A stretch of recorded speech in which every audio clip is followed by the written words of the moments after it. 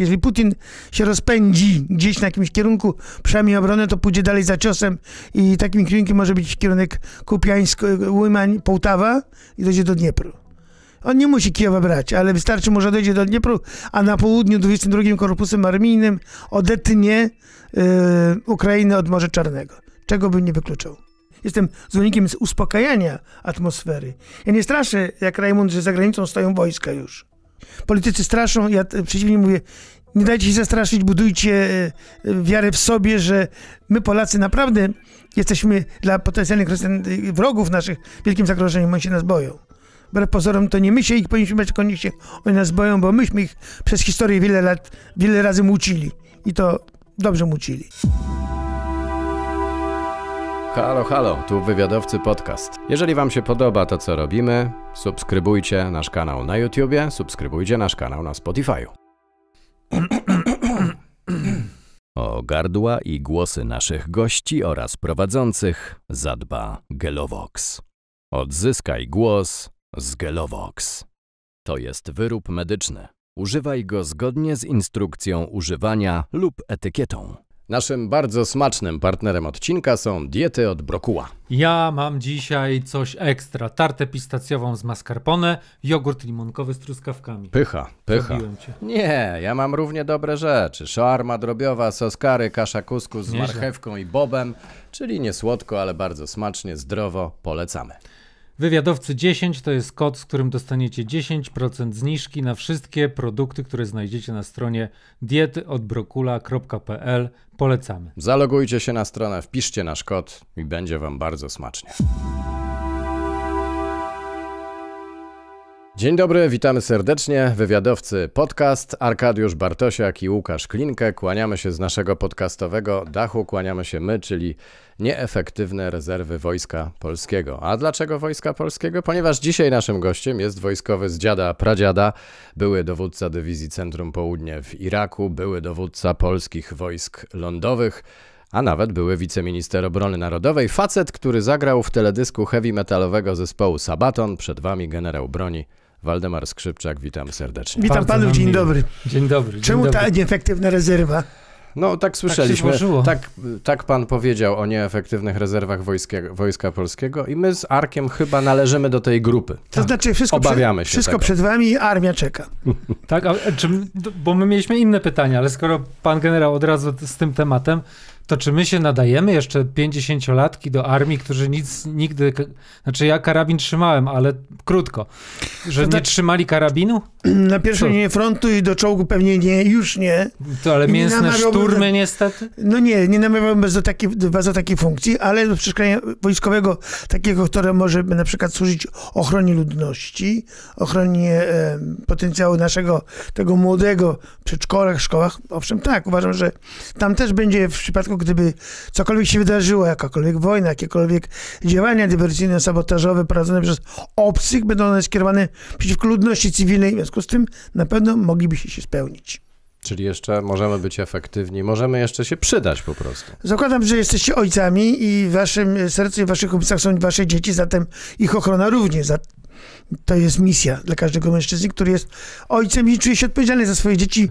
Zarówno dotyczy to tych, którzy będą walczyli na froncie, w czołgach, w haubicach, ale i tych, którzy będą chronili ludność cywilną i swoje dzieci na tyłach. I to dotyczy, dotyczy nie tylko nas, ale bardzo wielu, nie tylko mężczyzn, ale i kobiet w Polsce. I teraz my to możemy próbować robić na własną rękę, bo żadnego programu państwowego nie ma.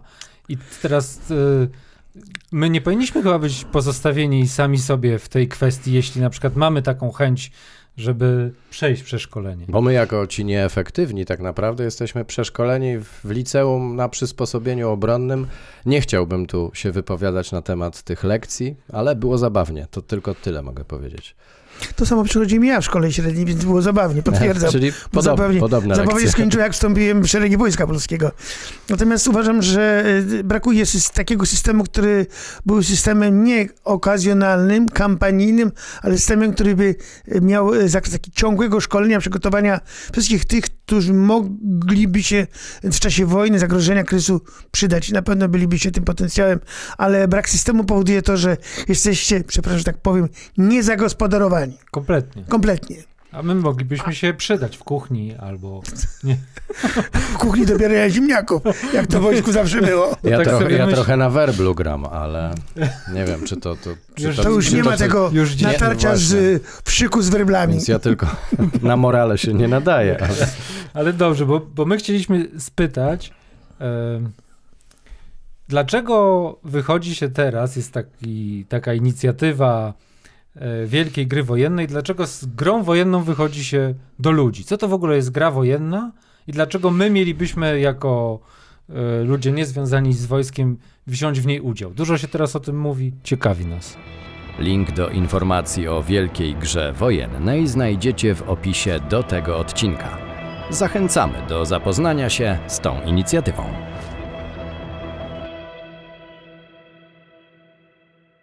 Znaczy, gra wojenna jest to w ogóle e, pojęcie z e, zakresu e, nauki wojskowej, ponieważ e, używane gry wojenne prowadzi się z dowództwami, sztabami wojsk e, w ramach ich przygotowania, zgrania do planowania, organizowania i prowadzenia działań z wojskami. To forma, gra wojenna jest najwyższą formą doskonalenia e, żołnierzy, sztabów, którzy przygotowują i prowadzą operacje wojskowe i e, to jest tak zwana mm, e, metodyka szkolenia dowódcy sztabów i w niej zawiera się ta gra wojenna. Gra wojenna jest to mm, można powiedzieć, gra wojenna z reguły jest dwustronna lub jest jednostronna. Wtedy przeciwnika w jednostronnej się podgrywa e, w jakiś sposób, przyjmując określone założenia z przeskokami operacyjnymi, lub ćwiczenie dwustronne, gdzie ma, gdzie czerwony walczy z niebieskimi, to są sztaby obsadzone przez e, oficerów, dowódców i szta, oficerów sztabu, którzy rozgrywki między sobą prowadzą, a e, o wynikach decyduje symulacja komputerowa, która daje jednym zwycięstwo, innym daje klęskę. Bo Pan wie generał, jak to się kojarzy, że jest wielka plansza i na tej planszy przesuwa się Pionki. Żołnierzyki. Albo żołnierzyki, tak, tak. tak. To się tak kojarzy, a jak to wygląda naprawdę? W praktyce to jest tak, że w tej chwili to gry wojenne prowadzi się w oparciu o gry komputerowe i głównie się wykorzystuje właśnie e, gry komputerowe, gdzie w zasadzie oficerowie dysponują e, wszystkimi e, tymi kwestiami, które się rozgrywają w komputerach. Niemniej jednak korzysta się również i z map i sobie nie wyobrażam, żeby zre- zrezygnowano z map, ponieważ mapy są potrzebne, one bardziej kształtują wyobraźnię niż komputery. W związku z tym wydaje się, że y, to jest narzędzie bardzo dobre i w tej grze, w tej grze wojennej, którą y, my przygotowujemy z kolegami, y, to również tam będziemy opierali swoją wiedzę i ruchy głównie na, na mapach, które będziemy, na których będziemy prowadzili tą sytuację i operacyjną, i taktyczną, w zależności od tego, co przyjmiemy sobie w założeniach, ale Gra wojenna e, jest to pokazanie wszystkim tym, którzy w tej chwili są e, zainteresowani tym, co się dzieje za naszą wschodnią granicą, na czym polega prowadzenie e, operacji wojskowych i działań taktycznych. I to jest przedmiotem tej gry, gdzie zderzają się wojska czerwonych z niebieskimi i będziemy symulować, mm, podpowiadać takie rozwiązania w tej grze, które będą przede wszystkim pokazywały, na czym polega gra wojenna, pokazywały, na czym polegają ruchy wojsk, na czym polega sztuka operacyjna i taktyka i na czym polega e, mówiliśmy z kolegą, zgadywanie, przewidywanie działania przeciwnika i nasze reagowanie w stosunku do e, tego, jak działa przeciwnik. Zawsze mm, nasze działanie jest odpowiedzią na działanie przeciwnika. Okej, ale y, t- bo to rozumiem, będzie symulacja konfliktu w naszym regionie, czyli, czyli Rosja napada na y, państwa bałtyckie i jaka jest odpowiedź na to, tak? To Umownie my nazywamy te wszystkie państwa inaczej niż one się tak, faktycznie zabawne. nazywają. Bajkowo, tak. Znaczy bajkowo, niech to będzie bajkowo, nie można moim zdaniem e, tutaj e, naruszać e, jakichś norm międzynarodowych, które mówią o tym, że w ćwiczeniach się powinno używać faktycznych nazw e, państw. Uważam, że to uzasadnione jak najbardziej, ale używamy struktur numeracji, e, struktur wojsk oczywiście, zbliżonych do faktycznych. Znaczy generalnie ta, to są takie nazwy umowne i one będą e, miały, e, że tak powiem, zdezinformować tych, którzy by chcieli przeszkadzać tej grze. Uważam, że e, jeżeli prawo tak stanowi, a tak stanowi prawo, że nie wolno używać faktycznych, to trzeba je respektować i w tej grze je respektujemy. I, I dlaczego pan generał włącza się w takie przedsięwzięcie, że gra wojenna dla, otwarta dla wszystkich? Znaczy przede wszystkim dlatego, że ja całe swoje życie wojskowe byłem dowódcą albo szefem sztabu i generalnie to była moja, moja w zasadzie działalność codzienna. Prowadzenie gier wojennych, ćwiczeń z wojskami, y, ćwiczeń sztabowych, treningów sztabowych, gie- burz mózgów na temat y, różnych gier, a zatem to była moja codzienna działalność i jestem, e, jak to się nazywam, sam wprawionym operatorem. E, I muszę powiedzieć, że na przestrzeni tych lat, co dowodziłem wojskami, gdzie wojska brały udział w ćwiczeniach nie tylko na mapach, ale i w terenie, nie doznałem porażki takiej, która mogłaby pokazać, że jestem źle przygotowany albo niesprawny w dowodzeniu. A zatem wydaje się, że moje doświadczenie, moje praktyczne doświadczenie, bo dowodziłem dwoma dywizjami, trzema, przepraszam, 16. Pomorską Dywizją Zmechanizowaną Elbląską, dowodziłem 3 lata. Dowodziłem 11. Dywizją Kawalerii Pancernej Żagańską y, też 3 lata i z tą dywizją byłem w Iraku. Y, w czasie czwartej zmiany y, operacji Raki Freedom dowodziłem Dywizją Central Południe. Dowodziłem wojskami lądowymi, gdzie prowadziłem na poziomie dowódcy operacyjnego prowadziłem różne ćwiczenia. A zatem wydaje się, że mam doświadczenie praktyczne w prowadzeniu To my nie dowodzenia. Ale to mogą ci, którzy w tej chwili słuchają i patrzą na mnie inaczej. Zastanawiają się Bo siedzę- zastanawiają, kto to jest. Kto to jest? Siedzi w czerwonym swetrze, a taki żołnierz. Tak, ale, ale dlaczego do ludzi? Dlaczego właśnie my na przykład moglibyśmy się tam zalogować, kupić sobie bilety i, i przyjrzeć się tej grze, może nawet w niej wziąć udział? Y, Co to by nam dało? Znaczy, przede wszystkim wydaje się, że e, wszyscy oczekują tego, e, żeby mieć wiedzę, jak, takie, jak taką wojnę się prowadzi, jak taka wojna może przebiegać. W tej chwili mm, no, o wojnie w, od dwóch lat przynajmniej, o wojnie w Ukrainie, czy w, na Ukrainie mówią wszyscy. Tak. Tak jak kiedyś były mistrzostwa e, Europy w piłce nożnej, 38 milionów Polaków było ekspertami od piłki nożnej, tak teraz 38 milionów Polaków jest ekspertami od wojny w Ukrainie. Minus dwóch, bo my się nie przyznajemy do tutaj. Znaczy, ja się zaraz mniej przyznaję, ponieważ przy tym nawale tych ekspertów, którzy zabierają głos na temat wojny, trudno z nimi konkurować.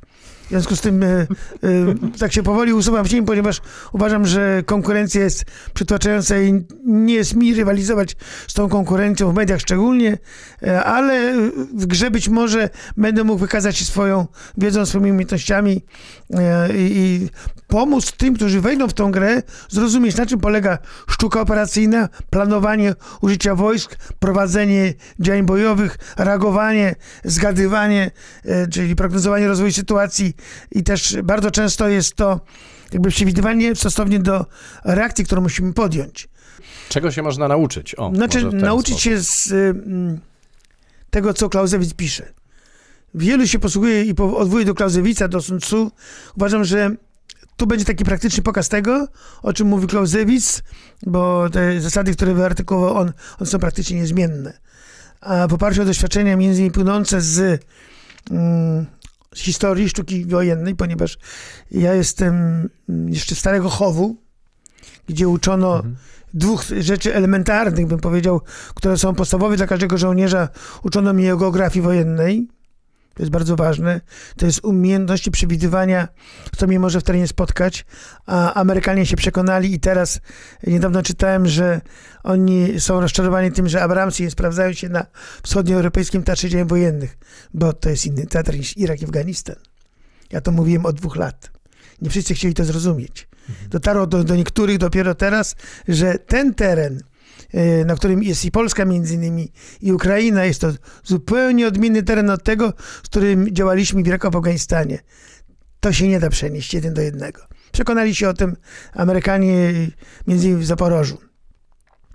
E, Teraz te lekcje, które mają z tego płynąć, mają dać nam wiedzę, jak wielkie operacje prowadzi się, jak e, je się organizuje, planuje stosownie do terenu. I teraz powiedziałem o jednym przedmiocie geografii wojennej.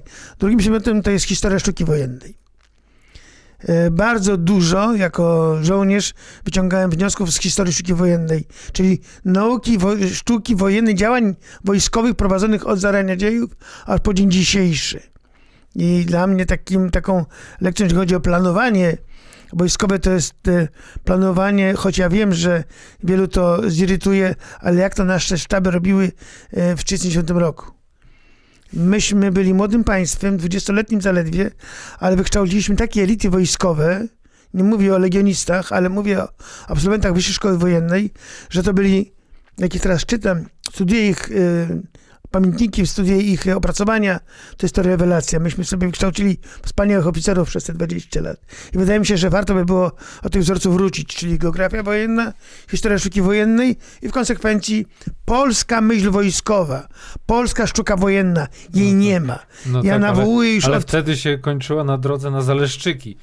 Na, dla polityków bardziej, nie dla... No, nie nie tych- dla wojskowych. Bo ci no. oficerowie, których ja mówię, to byli młodzi oficerowie, którzy większy, z których większość poległa lub spędzi, poległa na polu walki lub spędziła, jak mój dziadek, y, niewolę y, w obozie. y, Obo, w obozie. Ale do czego zmierzam? Zmierzam do tego, że e, powinniśmy teraz, w oparciu o nasze doświadczenia, nie tylko z Iraku, Afganistanu, bo to jest zupełnie doświadczenie, w oparciu o to, co się dzieje w, w Ukrainie, wyciągać wnioski i budować Polskę sztuką wojenną. Ja uważam, że my jesteśmy pod tym względem wyjątkowi, bo potrafimy to zrobić lepiej niż wielu innych. Mamy swoje doświadczenia, mamy umysły światłe i trzeba budować polską szkołę sztuki wojennej, polską szkołę sztuki operacyjnej. Nie wiem dlaczego wszyscy tną żywcem wszystko z NATO, bezkrytycznie. Okazuje się, że ci doradcy, którzy doradzali Ukraińcom, to byli doradcy z NATO. I ta operacja, która nie udała się w Zaporożu, ta operacja hersońska również i, i charkowska nieudane operacje były znaczy współdziełem e, tych doradców z NATO, którzy poza Irakiem, Afganistanem innego pola walki wcześniej nie widzieli. To jest błąd. My Polacy się odróżniamy od nich, bo my działamy w tym terenie, my tu ćwiczyliśmy od zawsze w tym terenie i nieraz mi czołgi grzęzły w błocie. Chciałbym się dowiedzieć, jak to jest, że Rosjanie wycofują się z Hersonia bez strat. Ja nie wiem, jak to. i- i- Ja, jako niewojskowy, jak to jest możliwe? Zagadka że- tej wojny, jedna z wielu, które sobie zadaję. Jak to się stało, że e, na przyczółku hersońskim było 25 tysięcy Rosjan I oni nagle i wypadli. oni w ciągu trzech dni zniknęli. bez to, dla, strat. to dla mnie zagadką. Znaczy, y, nie wierzę w to, że Ukraińcy to przegapili. Bo się da tego przegapić ruchu 25 tysięcy żołnierzy, którzy wycofują się nie normalnie przez las. Oni się wycofali przez rzekę Dniepr. Tak. Rzekę szeroką, którą się forsuje. Ja widziałem takie filmiki, jak spokojnie szli przez most. Spokojnie szli. No więc e, twierdzę, że było to wynikiem układu, który prawdopodobnie zaistniał między dowódcami ukraińskimi a dowódcami rosyjskimi. Nie wam, kulisów. my wam oddajemy tę część, ale się wycofujemy bez strat. Dokładnie tak. Mhm. Tak mogło być. Taki mógł być scenariusz, bo w warunkach bojowych nie wyobrażam sobie, że jako dowódca, jakbym w roli dowódcy ukraińskiego, bym się zgodził na to, żeby się 25 tysięcy żołnierzy z worka wyrwało. I te 25 tysięcy żołnierzy przeszło na wschodni brzeg Dniepru i oni potem fortyfikowali Zaporoże. I pokonali armię ukraińską na Zaporożu. Dla mnie to jest zagadka tej wojny. Tych zagadek jest kilka. To jest e, jedna z wielu, bo dla mnie zagadką była również operacja e, charkowska tej 11 września, która nie miała żadnego celu operacyjnego. Ona przełamała pozycję na rzece Oskoł i przeszli przez rzekę Oskoł na rzece Krasnej kilkanaście kilometrów dalej stanęli. I nie osiągnęli żadnego celu. I teraz y, Rosjanie ich z Znaczy tego... odbili trochę terenu, tak? No tak, Nawet ale- tak trochę. Ale już utracili. Już Ukraińcy, już Rosjanie odbili ten teren. To jest y, jedna z zagadek, ten, ten przyczółek hersoński, operacja zaporowska. Byłem przekonany, że kiedy, kiedy w roku 1000 2022 mówił prezydent Żeleński i mój załóżny o tej operacji w Zaporożu, byłem przekonany, że jest to mylenie Rosjan co kierunku głównego uderzenia. Bo y, od grudnia 2022 roku Rosjanie minowali Zaporoże jak szaleni. To dlatego, że uwierzyli prawdopodobnie zapewnienie, że tam uderzą. Sztuka wojenna tak się nie przewiduje. Ja byłem przekonany, że jest to mylenie operacyjne, że specjalnie to mówią, żeby Rosjan poraził błąd, a uderzą gdzie indziej. Okazało się, że tam uderzyli. Ponieśli sromotną klęskę. Podkreślam, sromotną klęskę ponieśli tak duże straty, że nie są w stanie do dzisiaj tych strat odtworzyć i to jest konsekwencją tych strat jest to, że teraz przegrywają na każdym kierunku praktycznie. Za takie błędy się płaci ogromną cenę. I, i Ukraińcy za złe doradztwo moim zdaniem za bardziej propagandę płacą wysoką cenę w tej chwili. Ale Niestety. to jest właśnie bardziej chęć e, osiągnięcia celów politycznych e, narzuconych przez no, e, administrację rządową, czy to jest właśnie kwestia tych z, z, złego doradztwa? Tego pewnie nie Chyba rozstrzygniemy. to jest to i to. Chyba to jest to y, oczekiwanie polityczne, to po pierwsze, po drugie to chyba to doradztwo. Zresztą skłaniam się ku temu, że uderzono na tym kilku Zabrowskim, bardziej skłaniam się ku temu, że to było doradztwo wojskowe natowców, bo nad mapami widziałem cały czas pochylonych Brytyjczyków i Amerykanów, niż polityków, a politycy uwierzyli w to, że ci doradcy rzeczywiście mają remedium, wiedzą jak pokonać Rosjan. Powtarzam, niedocenienie Rosjan stało się katastrofą na Zaporożu dla Ukraińców. Czyli właściwie same błędy, wypaczenia i przez to zagadki. Znaczy, to są rzeczy dla mnie niezrozumiałe, z, e, bo sztuka No bo operacyjna... dla nas to jest niezrozumiałe zupełnie, ale jak już dla fachowca coś jest niezrozumiałe, to zaczyna Ale to artykułowałem od początku. tajemnicze. Artykułowałem to od początku, ja mówiłem w grudniu ubiegłego roku, 2023 mówiłem, zwróćcie uwagę wszyscy, że Rosjanie minują jak szaleni Zaporoże. Żadnego echa nie było. A w czerwcu jak uderzyli, to nagle się wszyscy zaminowane. Oni pół roku nie zmarnowali. Bym zrobił to samo jako dowódca. Setki tysięcy min w ziemię wsadzili, ufortyfikowali. Miałem nadzieję, że oni sobie poradzą z tym, ale nie mieli siły. No tak. Nie poradzili, przełamali pierwszą pozycję, ponieśli ogromne straty, cztery brygady stracili w ciągu pierwszego tygodnia czasu. To jest szaleństwo, to jest rozrzutność, bym powiedział, Mhm. żołnierzami. Tego nie wolno robić. No tym bardziej, że nie mieli wsparcia z powietrza. Nie mieli wsparcia powietrza, czyli nie mieli przewagi w powietrzu. Bo jeżeli ma się samoloty, to buduje się, czy organizuje się, wywalcza się przewagę w powietrzu w rejonie operacji. Czyli tam, gdzie jest operacja, tam się kumuluje uwagę, e, kumuluje wszystkie siły, te lotnicze. Oni tego nie mieli, więc byli cały czas narażeni na uderzenia lotnictwa rosyjskiego. To gdzie my dzisiaj jesteśmy w tym, w tym konflikcie? Yy, jesteśmy w takim miejscu, że dobrze, jeśli to się uda zatrzymać na tej linii frontu teraz, że to będzie linia demarkacyjna? Ja bym jeszcze dodał drugie pytanie, bo to jest dziś, czyli mamy 24 rok, a rozmawialiśmy o wielkiej grze wojennej, która dzieje się w 26 roku, więc jakby dwa pytania. Gdzie jesteśmy dziś i jak pan myśli, Znaczy, jeżeli chodzi o Ukrainę, gdzie, jesteś- jak, jak ta sytuacja będzie wyglądała za dwa lata? Jeżeli chodzi o Ukrainę, to y, od praktycznie mm, grudnia, może nawet i listopada, Ukraińcy mówią o tym, powinni przyjść do strategicznej operacji obronnej. Na całym froncie operacja obronna. Te mówienie, mówienie o ofensywie, budowa ofensywie to propaganda. To nie ma nic wspólnego z rzeczywistością, oni mają siły do prowadzenia działań ofensywnych. Wykluczam wokół jakiekolwiek ofensywy w najbliższej perspektywie, bo oni dwóch rzeczy nie zrobili nie przeprowadzili od maja mobilizacji i nie kupują amunicji. Oni tylko liczą na to, że im damy. Żołnierzki dajcie. Pieniądze, które dajemy im, wszystkie wyparowały.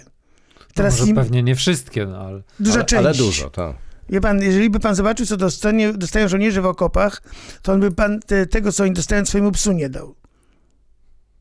tak źle. Rozumie pan? Tak źle jest. Tak są żołnierze okradani. Tych dwóch rzeczy nie ma, amunicji nie ma, bo pieniędzy nie ma, a chociaż pieniądze dostali na amunicję. A amunicja trafiła nie tam, gdzie powinna trafić, nie wiem dlaczego. Drugie nie przeprowadzili mobilizacji, czyli mają wojska. Nie, nie wykonają tych dwóch rzeczy, niech nie liczą na cokolwiek. A Rosjanie z kolei y, mają strategiczną przewagę, budowali ją cały czas. Y, Putin zrobił ruch w kwietniu 2022 roku, przeszedł ze struktury państwa y, etatu pokojowego, funkcjonowania pokojowego na wojenny i ma efekty po roku czasu. Po roku czasu. Wolno to niby trwa, ale po roku czasu ma efekty, buduje, zbudował armię, dwie nowe korpusy rozwinął, sformował dwie nowe dywizje, otworzył sześć nowych brygad. To duży potencjał, co pozwala mu mieć przewagę strategiczną i mieć inicjatywę strategiczną dzięki temu. I to, co w tej chwili się dzieje na froncie, to jest ta przewaga, którą Putin budował, a e, mniejsza rola wojsk ukraińskich, bo, bo to suma błędów, które popełnili Ukraińcy, powoduje to, że ta armia jest coraz słabsza i nie ma w tej chwili możliwości na jakiekolwiek działania ofensywne. Jeżeli ich obrona wytrzyma, to będzie wielkie szczęście. Czyli dzisiaj skupiamy się na obronie. Na obronie zdecydowanie tylko obronie i jeżeli oni wytrzymają, ja mówię tak, jeżeli Putin się rozpędzi gdzieś na jakimś kierunku, przejmie obronę, to pójdzie dalej za ciosem i takim kierunkiem może być kierunek Kupiańsk, Łymań, Połtawa i dojdzie do Dniepru. On nie musi Kijowa brać, ale wystarczy mu, że dojdzie do Dniepru, a na południu 22 Korpusem Armijnym odetnie yy, Ukrainę od Morza Czarnego. Czego bym nie wykluczał. No to 20, 26 rok to nasza wojna. To jest e, konfrontacja NATO, w tym Polski, z, mówimy o grze wojennej, Mhm. z potencjalnym przeciwnikiem y, wiadomo, że w tytule jest Rosja, ale na mapie to będzie inaczej się nazywało. A w każdym razie my zderzamy, konfrontujemy nasz potencjał, potencjał potencjalnego przeciwnika, który na kierunku polskim będzie skupiał część swoich sił. No bo zakładamy, że front y, Rosjanie mają bardzo długi, bo mają od Finlandii przez Nadbałtykę, przez Polskę, państwa południowe, na południu Polski, przez Rumunię i tak dalej. Więc front Rosjanie mają rozciągnięty bardzo mocno. Nie stać ich na to, żeby mm, konfrontować się z NATO całego frontu, ale będą mieli potencjał, który gromadzą na północy, na tym półwyspie Kola 14 armię, tu na południe na Bałtyka 6 armia, 20 armia. Będą mieli kilka armii, które pokażą się na tej grze wojennej, którą będziemy prowadzili, a my z kolei pokażemy ten potencjał, który jest na razie narysowany na mapie, który poprzedni rząd wygenerował, my go wykorzystujemy w tej grze. Czy on będzie za te dwa lata, nie wiem, natomiast my go w tej grze e, hipotetycznie, hipotetycznie, hipotetycznie wykorzystujemy. Czyli rozumiem, że to jest trochę takie pokazanie, co nam może grozić i tak. jak my możemy odpowiedzieć. Znaczy to jest taka, więc będzie to pewnie agresja, na Polskę, będzie to odpowiedź Polski, będziemy prowadzili takie działania na poziomie operacyjnym, na poziomie taktycznym też, żeby ci ludzie, którzy są tym zainteresowani, mogli poznać arkana sztuki operacyjnej i arkana sztuki tej taktyki. Tak, to jeszcze powiem, że dla wszystkich zainteresowanych no, z kodem wywiadowcy 10 złotych zniżki, gdyby ktoś chciał do, do, tej, do tej gry. A gra ma do... ruszyć 27 kwietnia. Tak, taki jest, taki jest, taki spróbujemy, jest plan. spróbujemy taki zagrać i zobaczymy, jak to ci, którzy będą chcieli grać, jak to odbiorą, bo bardzo bym chciał też, żeby oni byli żywymi uczestnikami tej gry, żeby oni też również wnosili coś do tej gry, bo zakładam, że ja jako ten grający nie jestem nieomylny. W związku z tym zakładam, że być może... Będzie pan drugiej... słuchał podpowiedzi na przykład takich dwóch jak my, przecież to... A dlaczego nie? Mhm. Bo może po drugiej stronie objawi się jakiś nowy wódz. Ktoś jakiś utalentowany geniusz dowódca. strategii. Tak. Dokładnie, geniusz strategii. A ja utalentowany też sobie, tak myślę, że przez e, VPN mo mogą się też e, połączyć wrogowie z tą grą Właśnie. wojenną. Czy to będzie pytanie, czy... czy będzie weryfikacja uczestników? Czy to będzie gra polskojęzyczna, czy Rosjanie polskojęzyczna. będą mogli w niej wziąć udział? Rosjanie na pewno mówią po polsku, ci, którzy grają przeciwko Polsce, więc mogą się chcieć wkomponować w to. E, dobre pytanie, jak się przy tym ustrzec. Będę musiał rozmawiać z tymi, którzy się tym zajmują, żeby e, byli e, filtrami dla tego tematu.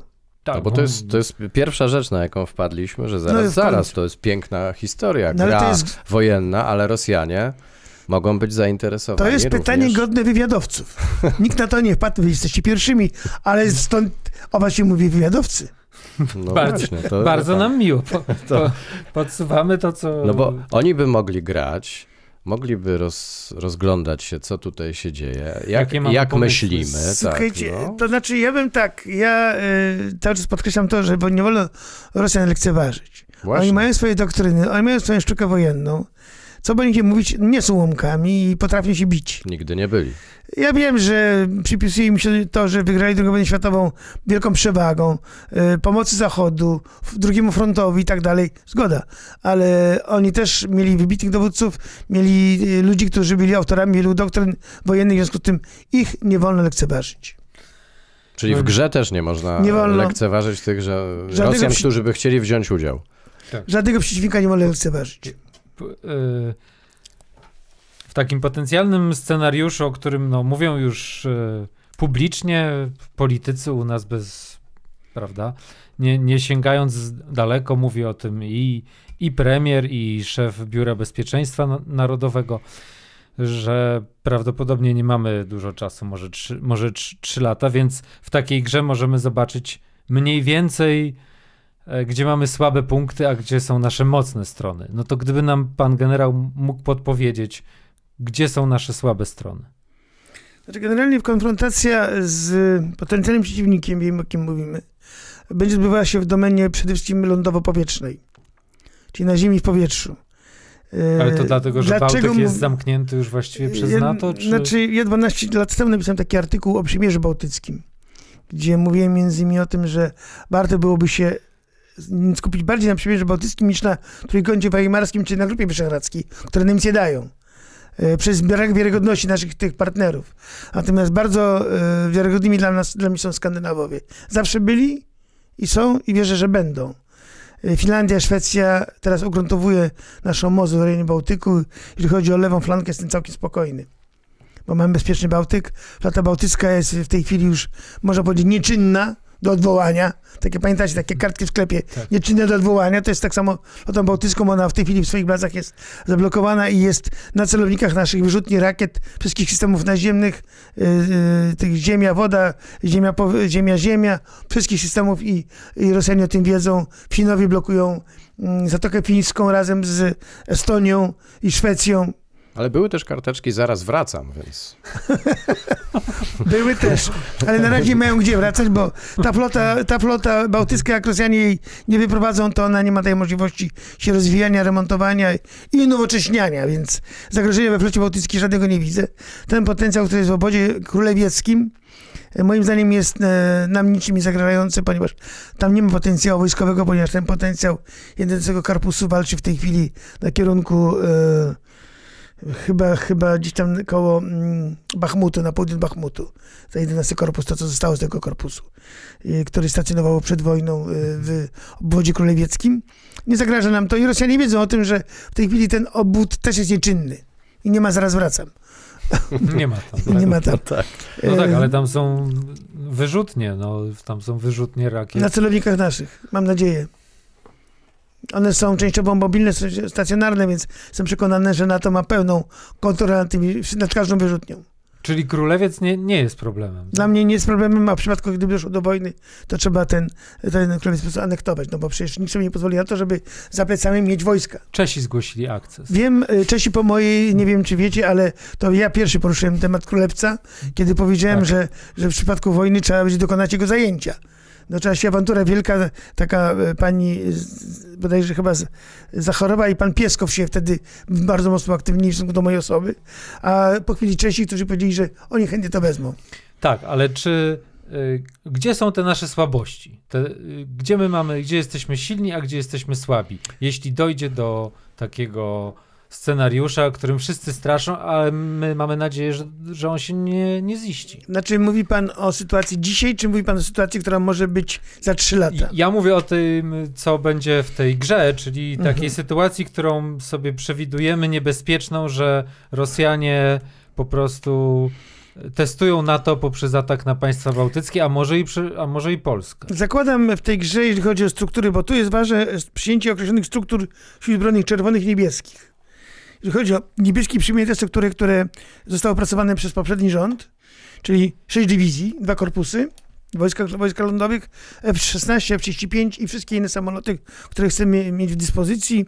Programy, programy morskie, te, które są realizowane w wielkim zakresie, no bo siłą rzeczy one nie będą tutaj w tej grze wojennej kluczowymi. Tak. W domenie lądowej i powietrznej będą się zgrywały operacje na kierunku wschodnim, czyli generalnie przyjmujemy konflikt wzdłuż polskiej granicy, czyli w polskim y, rejonie operacyjnym, podlaskim rejonie operacyjnym i mazurskim rejonie operacyjnym. W tych rejonach będzie się rozgrywa, będą się rozgrywały operacje. Też zahaczymy być może nad Bałtykę, żeby pokazać, co się tam może wydarzyć y, nad Bałtyce, ponieważ Bałtyka jest takim wrażliwym, y, miękkim podbrzuszem NATO na pewno. Z uwagi na szczupłość sił, które tam można rozlokować, tą płytkość operacyjną od granicy wschodniej aż po Morze Bałtyckie, po brzeg Morza Bałtyckiego i te implikacje wynikające z mniejszości narodowych, które, które żyją na, w Estonii, głównie na Łotwie. To jest problem, bo chociaż y, tak miasto Narwa, to jest dużym miastem y, estońskim, to tam jest 90% ludności to są Rosjanie. Byłem tam. Więc y, Ciekawe miejsce. to jest problem, z którym się musi też NATO zderzyć. Przy założeniu, że NATO będzie broniło każdej pięci ziemi e, każdego państwa członka NATO. Czyli Tak. Estonii też. Tak się mówi, a- wojskowy jak na to patrzy? Bo politycy tak mówią oczywiście. Znaczy, y, przede wszystkim politycy muszą mieć y, wiedzę, jak przebiegają operacje wojskowe. Jeżeli politycy zakładają, że oni na granicy od razu wszystko zatrzymają, znaczy, że mają takie pojęcie y, o sztuce operacyjnej, jak ja o budowie rakiet kosmicznych. Nie mam żadnego. Y, Nie jestem kosmonautą.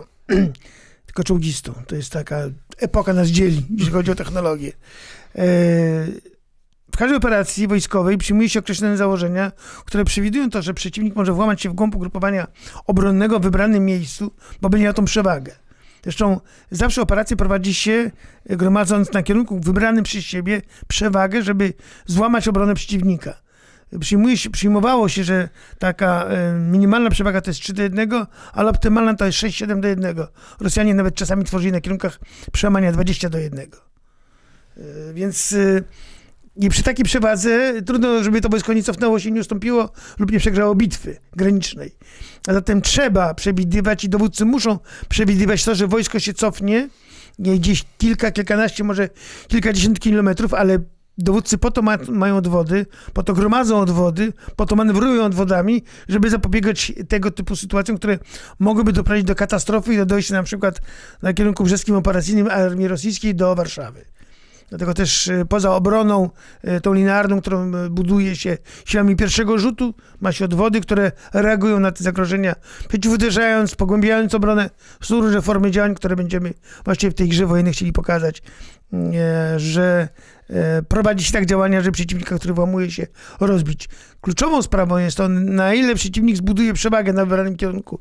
Będę budował w tym, e, tym ćwiczeniu takie przewagi, żeby przeciwnikowi też dać szansę, bo to nie może być tak jak chce polityk, że on granicę przekroczy, bo on płot postawi na granicy i, już ten płot nikt nie przejedzie, nawet czołg. To nie jest tak. To nie jest tak, tak się nie da.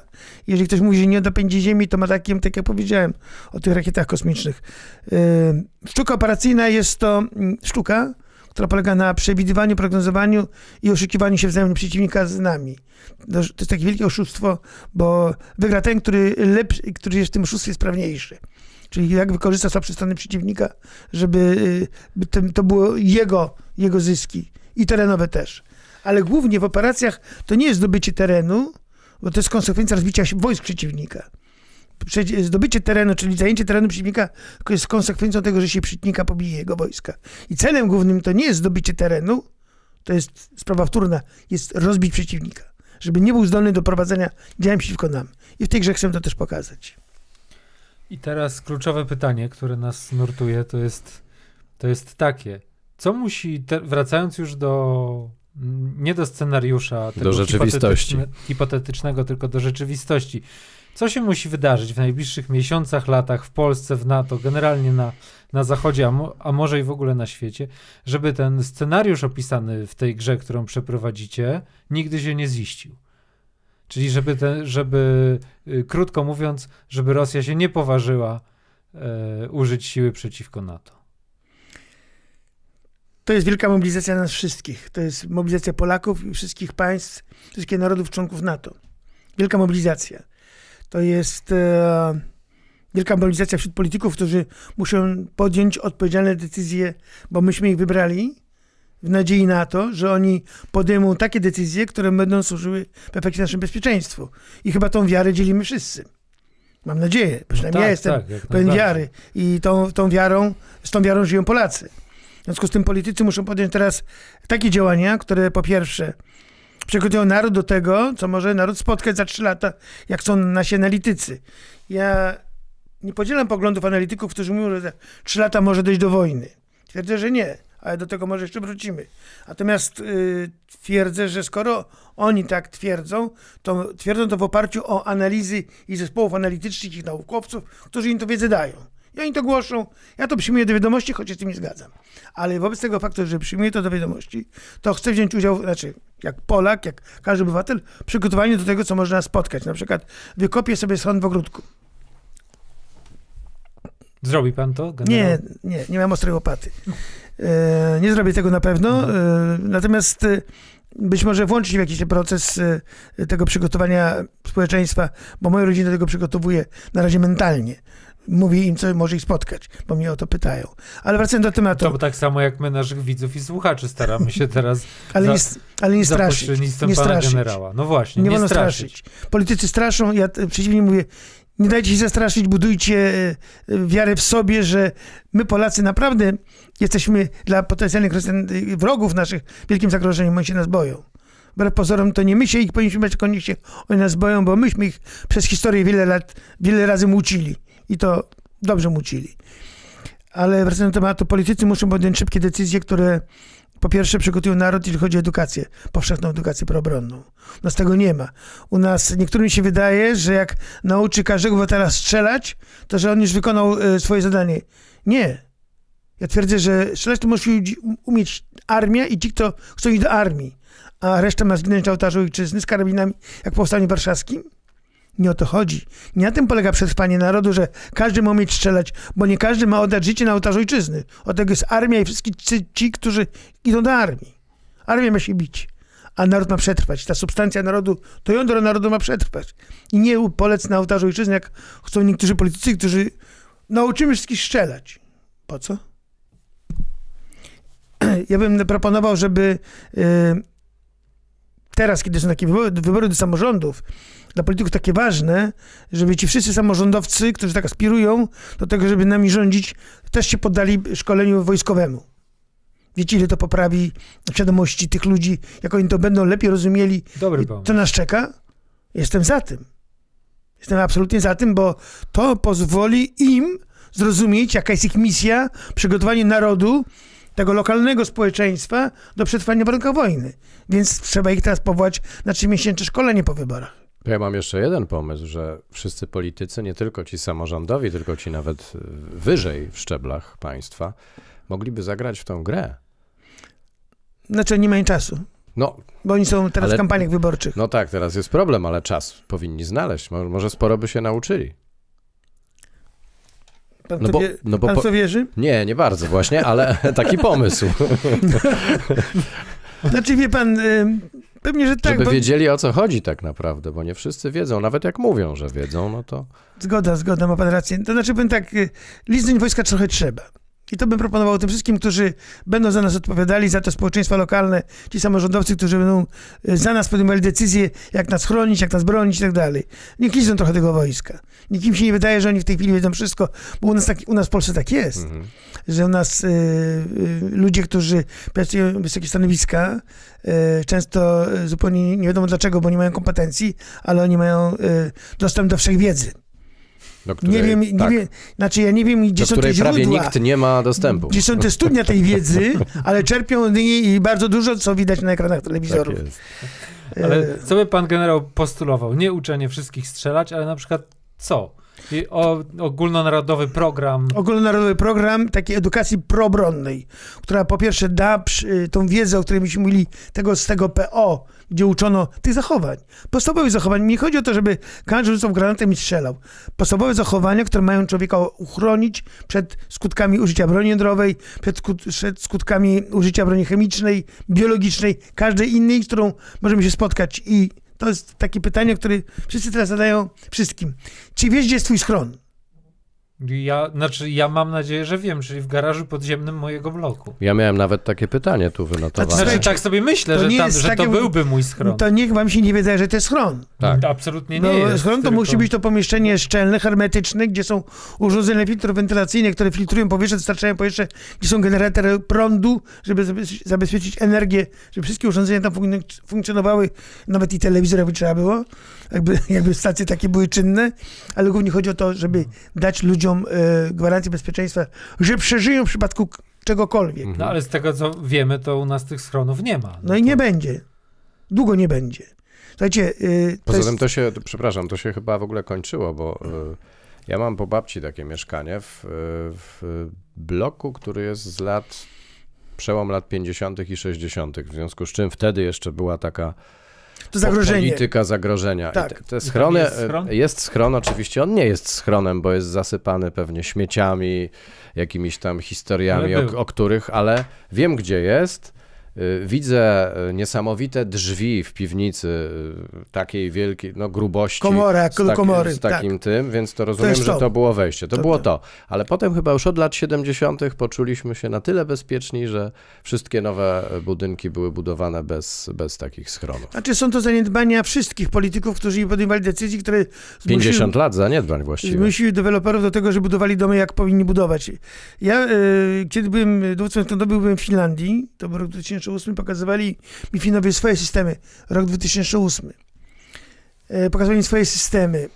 E, oczywiście oni mieli tam wszystko i to jest dla Finów przygotowane, utrzymywane, konserwowane, Czyli... unowocześniane. Cały czas to jest w toku ten Czyli proces. przeciętny Fin wie, gdzie jest jego schron, przeciętny Polak nie ma pojęcia. Gdzie jest jego schron. No nie ma edukacji i nie Mało ma tego, schronów. y, y, Nie ma schronów. nie, nie tyle, że przeciętny Fin, ale Finowie dbają o to, czyli są służby, które właśnie to sprzątają, utrzymują, sprawdzają. To jest obowiązek samorządów. Takie BHP. Dokładnie tak. I powiem wam, że kiedy byłem ostatnio na spotkaniu z panią ambasador Finlandii, świetnie mówiącą po polsku, omawiałem zadałem jej pytanie, jaki jest koszt y, dla dewelopera zgodnie z przepisami prawa Finlandii, którym podraża jakby wykonanie tego. Ona powiedziała, że ten koszt y, dodatkowy nie może być wyższy niż koszt ogólny o 2%. Czyli jeżeli kosztuje powiedzmy bu- budynek 100 milionów, to on nie może kosztować więcej jak, y, jak 2%, no to 102 miliony. Mhm. A u nas zobaczycie, ile wywalą nasi deweloperzy w naszych ustawach i przepisach. 20%. No, jak nie 35. Wjeżdżałem ostatnio, albo, albo 35. Będą znowu nas okradać. E, i byłem ostatnio, e, znaczy nie ostatnio, ale w roku ubiegłym w Bratysławie na takiej konferencji i wjeżdżałem samochodem do garażu w, w, hotelu, w hotelu nowym. Wjeżdżałem, byłem zaskoczony, bo wjeżdżałem przez drzwi jak do komory, czyli garaż e, podziemny, samochodowy był przygotowany jako schron. Bo byłem zaskoczony po raz pierwszy, wjeżdżałem e, w państwach e, byłych demoludów czy komunistycznych do takiego schronu samochodem i to do nowego hotelu. Czy wie pan co? Oby nigdy do tego nie doszło, ale to się skończy tak, że ludzie będą się kryli tam, gdzie im się wydaje, że się mogą ukryć, a nie w schronach, których, w bunkrach, których nie mamy. Ja zakładam jedną rzecz, że nie dojdzie do użycia broni jądrowej. Żadna ze stron nie będzie chciała użyć broni jądrowej, bo to byłaby glo- globalna apokalipsa, byłoby to wyniszczenie totalne, e, globalne. Byśmy się, po prostu cywilizacja by się zniszczyła, nic się zniszczyła. W związku z tym twierdzę, że nikt nie użyje broni ABC, czyli atomowej, biologicznej, chemicznej. Natomiast takie schrony, one są potrzebne wtedy, kiedy uderzają rakiety różnego typu, Iskandery, czy jakiekolwiek inne rakiety, które spadną, zniszczą budynki, zawalą się budynki, będą gruzy. To taki schron, on nie musi być szczelny, ale on wytrzyma te ruiny i tam ludzie przetrwają. Potem trzeba będzie te schrony odkopać, znaczy te garaże, żeby odkopać, żeby ludzie wyszli, ale ludzie tam mogą przetrwać. I, i bym się skupiał właśnie na tym, żeby dać ludziom możliwość przetrwania w przypadku takich uderzeń, bo to, co się dzieje i doświadczają Ukraińcy, to są właśnie uderzenia różnych typów rakiet, które zawalają budynki. Są ogromne gruzy, które powodują to, że nie ma możliwości przejechania, e, odkopania ludzi, w związku z tym e, ludzie, ci, którzy tam będą, przetrwają te, zawali, te zawaliska, te, te gruzy, które spadną na, te, na te garaże, ale e, ocaleją i będzie można ich po czasie ewakuować, jak dotrą tam ekipy ratownicze.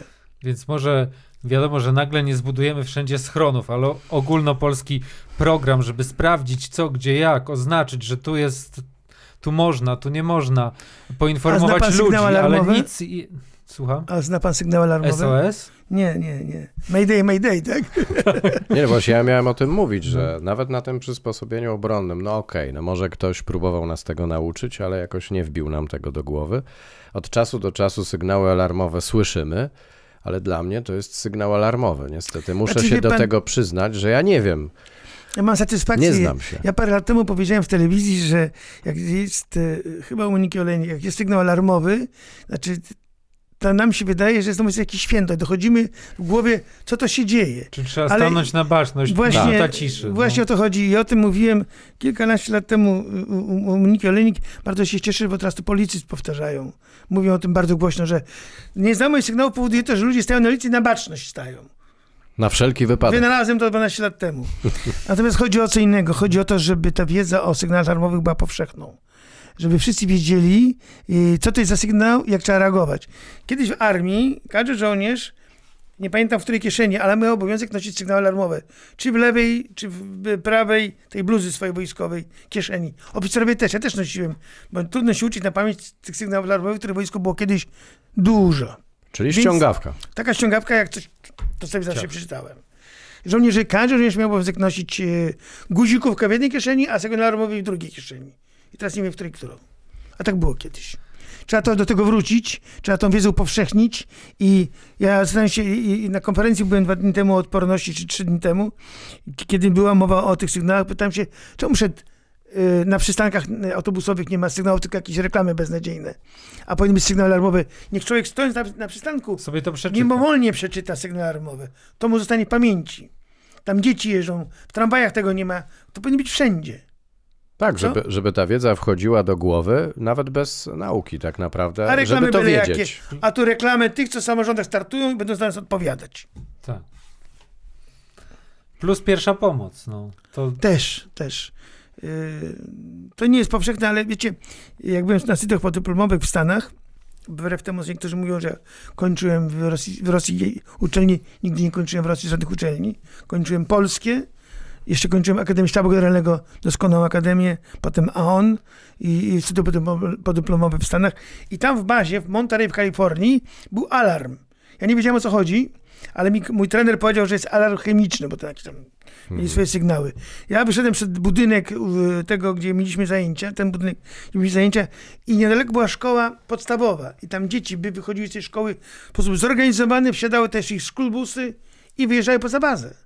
Myśmy też poza bazę wyjechali, do innego obiektu wyjechaliśmy. Była ewakuacja, bo było użyta broń chemiczna w bazie. Symulowane oczywiście, ale było wszystko zorganizowane. Momentalnie w ciągu 20 minut nikogo nie było w bazie. Można? No to trzeba tak zrobić u nas, takie systemy. Niech ci, którzy za nas odpowiadają, wezmą za nas odpowiedzialność. I to zrobią. Tak, ale my tak sobie tutaj rozmawiamy, jest bardzo miło, ale to nic takiego nie widać na horyzoncie. Ja nawet, ja, ja to słyszę od y, pana generała, od y, generała Andrzejczaka też to, to słyszę, którego słucham co, co jakiś czas i nic poza tym. No. Znaczy, wiecie, y, dlaczego to tylko o tym wojskowi mówią? No, niech pan, dobrze, dobre, dobre sobie pan generał zadał pytanie. Dlaczego my tylko o tym mówimy jako wojskowi? To wygląda na to, że to tylko wojskowi straszą. No nie jest tak. Ja, ja jestem akurat przeciwnikiem straszenia, jestem przeciwnikiem, jestem zwolennikiem uspokajania atmosfery. Ja nie straszę, jak Rajmund, że za granicą stoją wojska już. Mhm. Bo ich nie ma i długo nie będzie. I teraz wrócę do tego. Bo y, zwróćcie uwagę na jedną rzecz bardzo istotną. Rosja dokonała agresji na Ukrainę. Bije się z Ukrainą już od dwóch lat. Ile wysiłku wkłada Rosja, żeby tą jedną Ukrainę pobić? Nie mogą sobie z nią poradzić. I nie wiem, czy sobie z nią poradzą do końca. Może dojdą do Dniepru. Y, Po co im Ukraina cała? Jeżeli by chcieli zająć środkową i tą zachodnią Ukrainę, to sobie zgotują piekło y, w rodzaju Afganistanu. Bo, tak, bo tam jest tak nacjonalizm mocno rozwinięty, że Ukraińcy są najbardziej nienawidzącym Rosjan narodem w tej chwili. No, tak nie było wcześniej. dziwić. Zgoda. I to konsekwencje teraz będą ponosić Rosjanie. I teraz, żeby oni okupować to terytorium Ukrainy, które nawet jakby zajęli do naszej zachodniej granicy, to muszą do okupacji poświęcić około dwóch armii. Około 100 tysięcy, 150 tysięcy żołnierzy. Nie no, więcej pewnie, no to...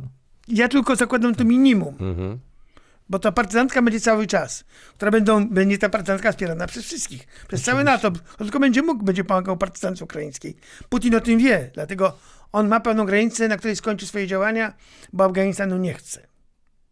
Więc jeżeli taka armia, nieliczna w sumie, jest tak wiążącą dla armii rosyjskiej, że Rosjanie nie mogą jej pobić, to on będzie z nami awanturę zaczynał? Z NATO? Kiedy my mamy kilkunasto większą przewagę nad Rosją i wojna długo trwała, my ją zniesiemy, bo ekonomicznie jesteśmy sprawniejsi, silniejsi, mamy większy dostęp do wszystkiego. Rosja nie ma takich możliwości. I jeszcze jeden problem. Rosja jest taką sklejanką z różnych narodów. Rosjanie są Rosjanie, ale oni mają wiele narodów zniewolonych, których zniewalali od XVII, które zniewalali od XVII wieku. I ta lepianka, ta, ten, te, to, to, to, to, to zlepienie tych narodów Mhm. jest coraz słabsze. To kleiwo, spoiwo jest coraz słabsze. Te narody coraz bardziej czują dech wolności. Były republiki poradzieckie już się uwolniły od Rosji. A Rosja już nie ma, ma niewielkie wpływy. Jeszcze mają dużo narodów wewnątrz, które są zniewolone, które chcą nie autonomii, one chcą niepodległości. One nie widzą siebie w przyszłej Rosji. Putin to wie. I dla nich zagrożeniem jest Ukraina, NATO bardzo wielkim i wewnętrzne problemy, które, które mogą wynikać z e, tej, tej, zała, tego, tej zapaści ekonomicznej, która się odbije na tych ruchach wewnętrznych, takich, takich separatystycznych ruchach, które będą no, Dagestańczycy e, czy Tatarowie. Oni się nie czują w żaden sposób Rosjanami, oni czują się zniewoleni, nie czują się niewolnikami Rosji. Czekają tylko na moment właściwy. Także byłbym bardzo, bardzo ostrożny w tych hipotezach, że za trzy lata na nas najadą. Bo Rosjanie mają szereg problemów wokół Rosji, płynące granice, wewnątrz Rosji, sytuacja ekonomiczna, e, to, co się dzieje z Ukrainą. Z kim jeszcze wojnę mogą nam za- zacząć? A są tacy, którzy tylko czekają, żeby zaczęli wojnę z NATO, żeby zacząć e, im wojnę na przykład na Kaukazie. Gruzja. i inni, Armenia. No, także problemów wokół Rosji jest bardzo dużo, także ja bym patrzył przy- na Rosję przez pryzmat tych rzeczy, które wymieniłem.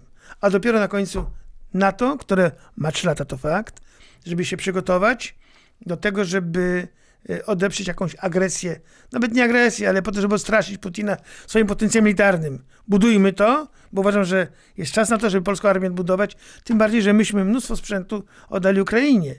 Mamy wojsko w koszarach, ale bez czołgów. Co miałem przeka- jako czołgi z Teboli.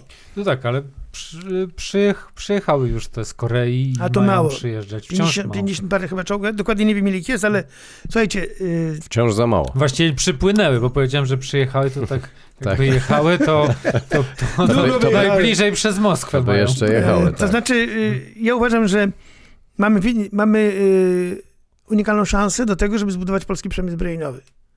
Tak jak budował przed wojną Kwiatkowski. Dlatego, że mamy dostęp do technologii. Koreańczycy, oni mówią tak, z nami, z nami negocjowali Polacy. Nas się teraz oskarża, że te umowy są złe. Ale oni mówią tak, z drugiej strony stołu siedzieli Polacy, a nie Koreańczycy. I byli bezwarunkowi. Jak to bezwarunkowi? No, to, co myśmy zaproponowali, to przyjęli. Jak to przyjęli? Nie mieli jakichś wymagań? A offset? No, wiecie co? To kto siedział po drugiej stronie? Polacy? No tak, ale ja, Oni są znani z imienia i nazwiska, ja bym pociągnął wszystkich tych, którzy negocjowali z Koreańczykami do odpowiedzialności karnej i do Trybunału Stanu. Bo z nich można wycisnąć dużo z Koreańczyków. Mają unikalne technologie. Jeżeli chodzi o amunicję, o, mają, y, o wiele rzeczy z nich można wyciągnąć. Tylko, że nikt, nikt, nikt od nich nie chciał wyciągać. spółki kupowane, wszystko. Znaczy, wie pan, ja tego nie rozumiem. Tak nas traktują wszyscy. Y, Amerykanie nas traktują, przyjeżdżają, mówią, macie kupić. My jesteśmy najbogatszym krajem w, w Europie. Nie ma bogatszych, bo płacimy najwięcej za każdy sprzęt. Włosi i Niemcy płacą y, Amerykanom o 20-30% mniej niż my płacimy. No, ale- Dlaczego tak jest? No właśnie dlaczego? właśnie Jaki dlaczego? jest powód? Mamy tak słabe elity? Mamy Czy- tak słabe elity. Okej. Interes państwa jest dla każdego z nas kwestią zasadniczą. Tylko chyba nie dla wszystkich, okazuje się. Bo można, tak jak powiedziałem, dlaczego Amerykanie kupujemy od Amerykanów Apache, czołgi dostajemy, znaczy Abramsy kupujemy, a gdzie technologie? A gdzie dostęp do technologii? Żeby polski przemysł zbrojeniowy te technologie zasysał, bo nam jest potrzebna autonomia. Nam, nie, nam się nie wydarzy tak, że w czasie wojny nam ktoś przywiezie części z Atlantyku albo z Azji, albo amunicję z Azji do czołgów i ka, tych czarnych panter, które się nie powinny nazywać czarne pantery. Powinien się ten czołg nazywać, który będziemy w Polsce budować Maczek. Znacie takiego? generała? dobry pomysł, tak. Nie sobie nie wyobrażasz, że może się czołg polski nazywać inaczej niż Maczek. Wyobrażacie sobie, że inaczej może? Ja sobie nie inaczej nie wyobrażam. I czy do Abramsów amunicji dostaniemy ze Stanów przez Atlantyk, przez Atlantyk nam Rosjanie pozwolą przewieźć amunicję do czołgów? Będziemy z powietrza strzelać. Autonomia, suwerenność produkcyjna musi być zagwarantowana przez polityków. Muszą walnąć ręką w stół, żądać technologii i produkcji w Polsce. No tak, ale na razie, na razie to jest zupełnie inaczej. No ostatnio ta pseudo-afera, bo jak się okazało, nie mieliśmy wielkich szans na, na więcej, że dostaliśmy najmniej pieniędzy w Unii na produkcję amunicji i jak ja na to patrzę, to ja sobie myślę, że my w ogóle nie mamy żadnej suwerenności w produkcji amunicji. Panu powiem skoro- szczegóły, chce pan? No, no chętnie, no Wie pan, co jest podstawą do produkcji amunicji? No, wydaje mi się, że proch. Nitroceluloza. Mhm. Wtedy się robi proch. My tego nie mamy. W Polsce się nie produkuje prochu. Y, Ci, którzy mówią, że my produkujemy amunicję, to kłamią Polaków, ponieważ my kupujemy y, komponenty za granicą I składamy. i składamy. Nie mamy suwerenności. Y, Ja byłem kiedyś wiceministrem narodowy, wiecie? Wiemy. I czyniłem starania, tym, no czyniłem starania, żeby kupić linię do produkcji wielo, prochu wielobazowego od Szwajcarów. Było wszystko dogadane praktycznie. Ale mnie lobbyści posunęli, znaczy, przepraszam za słowo, musiałem odejść z tego stanowiska, bo miałem wojnę y, z lobbystami, którzy mnie posądzili o korupcję. Trzy, pięć lat po y, prokuratura prowadziła dochodzenie. Oczywiście nic się, niczym się skończyło, no bo, no bo no bo nic nie było, natomiast chodzi o co innego. Nie odsunięto i wiele spraw wtedy uwalono, że tak powiem, y, jeśli chodzi o polski przemysł zbrojeniowy. Bo ja byłem taki no, propaństwowiec, który powodował to, że uważałem, że gro mm, polskich projektów ma być robiony w Polsce. I takim projektem na przykład jest Borsuk, który wycisnąłem kolanem, wbrew niektórym wojskowym, którzy trzymali Kupimy gdzie indziej technologię. E, Wieża bezzałogowa polska jest robiona przez Stalową Wolę i przez WB? Jest. Długo ją robili, to fakt, ale jest. Zapłacimy za tą wieżę, ponieważ y, niektóre firmy, nie powiem skąd, były przekonane, że my od nich kupimy gotową wieżę. Kormoran, niesiciel min, nawet mi politycy mówili, panie ministrze, panie generale, w Polsce, z polskiej stoczni nic nie zbudujemy. Jest kormoran, piąty albo szósty się buduje. Można było? Mógłbym wymienić jeszcze kilka programów takich, które się udały. Kryl Haubica, która stoi, nie wiedzieć czemu. Leka Haubica na podwoziu Jelcza stoi. A Jelcza kto uratował? My Pro- nie wiemy, proszę nas projekt, oświecić. Był projekt, y, żeby zrobić y, wtedy dla MONU 7, jakoś około 800 samochodów. Oczywiście y, był przetarg i tam byli wokół tego tematu wszyscy. A ja się wtedy uparłem jako wiceminister, powiedziałem nie. Zadanie pójdzie do polskiego przemysłu, do Jelcza. A prezes ówczesny Jelcza powiedział, panie ministrze, my nie damy rady. My nie damy, nie damy rady, my nie podołamy wyzwaniu. Powiedziałem, mnie to nie obchodzi. Macie zrobić, pracować dzień i noc. Jest Jelcz, teraz sukcesy obwieszcza całemu światu. Można było, tylko trzeba trzymać ich, jak to mówi święte pamięci generał Bóg, mój przyjaciel, mój zastępca, pamiętacie o, o nim, tatku zginął w Smoleńsku, mówi, dowódco, tym gościom to trzeba tlen dozować butem. Trzymając buta na szyi. Przepraszam, tak mówię. Proszę wybaczyć mi, ale widać, że czasami trzeba mieć e, twardą rękę, trzeba być konsekwentnym, wymagać, żądać i dociskać. I ktoś się nadaje do pieca i przychodzi nowy, który potrafi to zrobić. Są tacy. Tutaj nie ma sentymentów. I teraz amunicja. No braku- właśnie, co z tym prochem w Polsce? Nie ma prochu. Od 2000 roku nie produkujemy prochu w Polsce. Te, tą linię u, u, u, w 2013 roku to zakup tej linii został, że tak powiem, uwalony. E, Jest potencjał w Polsce i nie w przemyśle e, państwowym, bo on jest słabo wydolny. Mówię o Polskiej Grupie Zbrojeniowej, która nie widzi, czemu jest źle kierowana, ale to dlatego, że tam na stanowiskach są ludzie z rodzaju politycznego, którzy nie rozumieją istoty y, przeznaczenia PGZ-u. W polskim przemyśle zbrojeniowym, polskim, znaczy polskim y, przemyśle cywilnym, prywatnym, plus w polskiej nauce jest ogromny potencjał, który nie jest przeoszacowany przez tych, którzy odpowiadają za polski system zbrojeniowy. Ja bym połączył państwowy z prywatnym, ponieważ ten potencjał, on będzie dzięki temu, co jest, co jest w prywatnym y, zasobach plus nauce polskiej uczelniach, jest ten, ten, można wielokrotnie pomnożyć. Tylko, że wszyscy myślą, że Pegas musi mieć monopol na wszystko. Pegas w 6 tysięcy sztuk amunicji rocznie składa. Co to jest 6 tysięcy? To jest jeden dzień strzelania, nawet nie jeden dzień, pół dnia strzelania haubicami y, u tych u Ukraińców, a one jak będzie mieli tysiąc haubic? 15 minut. Oni nie rozumieją tego. Wiecie, ja nie potrafię zrozumieć, dlaczego oni tego nie rozumieją. Ale przecież to nie jest trudne do zrozumienia, więc Wiecie, wie pan co, powiem panu tak, jest przynajmniej kilku chętnych, którzy by chętnie nam udostępnili e, technologię do produkcji nitrocelulozy. I to nie jedna fabryka, tylko muszą być zapotrzebowanie na... Mm, e, proch jest tak duże, że co najmniej trzeba trzy takie fabryki postawić. Jest potencjał, są możliwości, tylko trzeba chcieć. Ja jestem ale ja mam nadzieję, że to się dzieje, że ktoś o tym myśli. Dzieje Czy, się. czy, czy moja nadzieja jest matką głupia? płonną. Ja powiem panu tak, że ja y, od przynajmniej trzech miesięcy, jak wygrał nowy rząd, znaczy jak jest nowy rząd, przepraszam, mówię głośno o tym, że jest potrzeba skonstruowania narodowego, programu amunicji. Mówię to w mediach. Y, jakimś echem to się obija, bo już niektórzy o tym samym mówią. Nawet marszałek Bosak, słyszałem, ostatnio mówił o tym, o czymś, o czymś podobnym.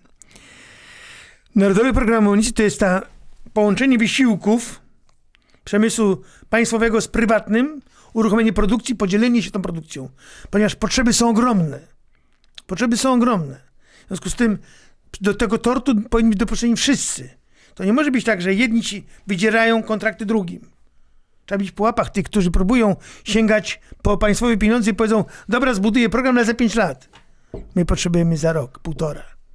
Nie ma czasu na to. Tu nie może być żadnych sentymentów, to trzeba z kosą chodzić i robić porządek z tymi wszystkimi, którzy chętnie wezmą 200 milionów, ale zrobimy zdolności za 5 lat. Mnie to nie interesuje.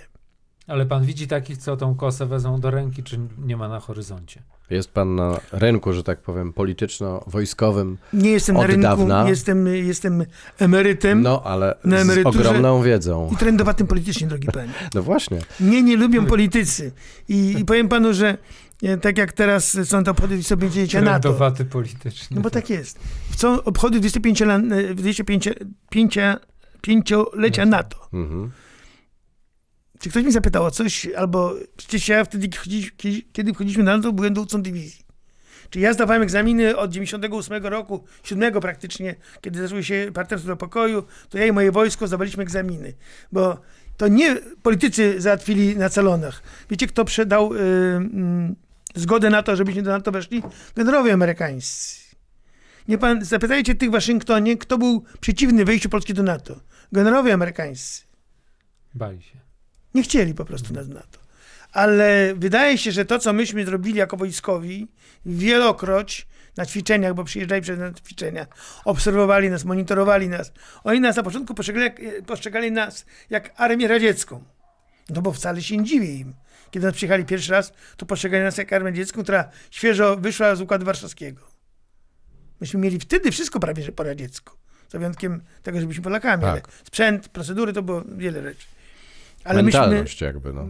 w pewnym sensie mentalność też. Choć powiem panu, że y, nie do końca. No nie do końca, tak. No, to jest taka drobna różnica, ale dla nich Jeżeli chodzi o sztukę, ta, operacyjną taktykę, na pewno tak. Doktryny zdecydowanie.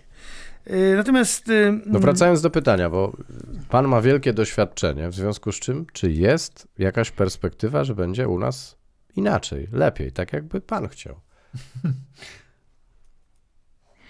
Znaczy, wie pan co... y, Ja Realnie nie chcę się oczywiście. odnosić do kompetencji ludzi, którzy w tej chwili dzierżą ster rządów, bo ja nie Ale jest dobry moment, no bo jakby zmienił się nie rząd. znam, nie znam ludzi, którzy w tej chwili odpowiadają za polską zbrojeniówkę na przykład. Nie wiem, jakie mają kompetencje y, ci decydenci, którzy za polską zbrojeniówkę, kto będzie zarządzał polską zbrojeniówką, bo to jest kluczowe.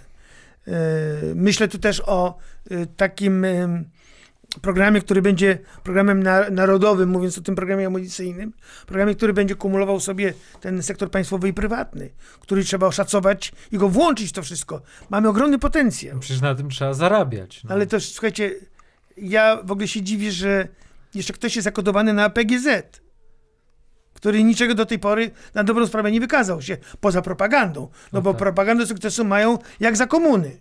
To mistrzowie świata są. A wyroby? No to... Yy, a są takie programy, chcę wam powiedzieć, które są, można powiedzieć, na półkach gotowe, których yy, wojsko nie chce. I to się dziwię, bo, mam, bo moi, moim zdaniem wojskowi chyba nie rozumieją, że e, inwestycje polski przemysł zbrojeniowy, narodowy, e, szukanie rozwiązań w polskim przemyśle zbrojeniowym i polskiej nauce, to kluczowe są dla pot- potęgi naszego państwa. A nam, wojskowi, był taki program Kryl. To jest haubica lekka, była 155 na Jelczu. Jeden egzemplarz stoi w hutce Stalowala, bo wojskowi sobie parę lat temu wymyślili, że on musi być, mieć automat ładowania. W Ukrainie wcale nie wszystkie muszą mieć automat ładowania. Nie czas na to zabawy teraz, panowie wojskowi. Trzeba natychmiast odkopać kryla i go zacząć produkować. Chociażby dla wojsk te, które nie mają potencjału wystarczającego, jeśli chodzi o wsparcie artylerii. Inny temat. E, Mamy taki pro- program Pirat. Rewelacyjny program. Wiecie, że go nie chcą wojskowi? Nie chcą programu polskiego przeciwpancernego, podświetlanego laserem e, pocisku przeciwpancernego Pirat. I nie jest uruchomiony ten program. Choć Polska wydała na niego pieniądze. NCBR wydał na niego pieniądze, Nau- Naukowe Centrum Badań i Rozwoju.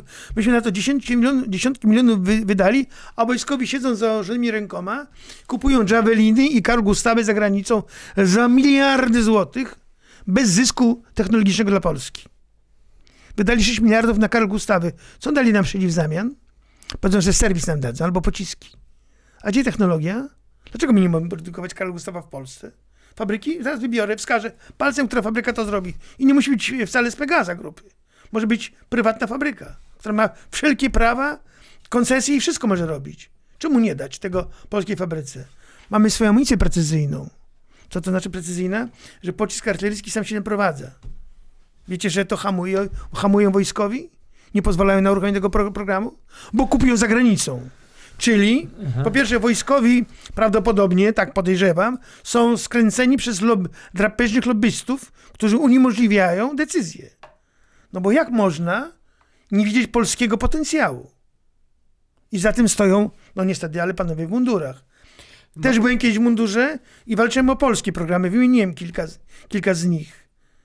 Dlaczego w tej chwili bez refleksyjnie, bezkrytycznie kupujemy wszystko za granicą, wydając pieniądze podatnika, nic nie zyskując dla Polski. Mało Nie. tego, to są w szafie programy polskie, a jak nie wolno odpalić. Przepraszam za te emocje. Nie no, My, my są- tego są nie wiemy, miejscu. panie generale, bo my się w ogóle nie znamy na wojsku, więc nawet nie, nic Dlatego nie... powiedziałem, idźcie do wojska na przeszkolenie. Panie, w ogóle panie generale, tak rozjechała mi się ta rozmowa Mi trochę, też, całkowicie. bo y, ja właściwie chciałem bardziej pytać pana o to, kiedy politycy zaufają wojskowym i czy to w ogóle kiedyś nastąpi, po czym okazuje się, że właściwie nie wszystkim wojskowym należy ufać. Czyli komu w ogóle, co, co tu się dzieje? Co, jaka jest nasza przyszłość, skoro z, już z dwóch stron są Znaczy- niekompetentni ludzie, Znaczy, ja którzy nikogo się czymś nie- tam zajmują? Ja nikogo nie skarżę, proszę wybaczyć. Ja tylko pokazuję mechanizmy i pokazuję problemy, które y, wynikają z tych No bo tutaj braku trze- mechanizmów Trzeciej chyba. strony już nie ma, no bo Trzecią stroną jesteśmy my. My, Znaczy, ale my, ale my jakby nie możemy podejmować decyzji ważnych. Wiecie, ja powiem tak, y, ja bardzo ubolewam na tym, że tak jest i to, i, że mówię tak jak jest, bo ja tego doświadczałem i mam tą wiedzę. I Z dwóch stron właściwie, no bo był pan bardzo- i trochę tu i trochę tu, prawda? Znaczy, Znaczy, w wojsku zawsze, i- a w polityce Znaczy, troszkę wiecie, też. na przykład taki był e, kiedyś e, program Gepard. To był, on szedł równolegle razem z Borsukiem, czyli z tym bojowym z piechoty. Ja uruchomiłem też program e, czołgu naszego, Gepard.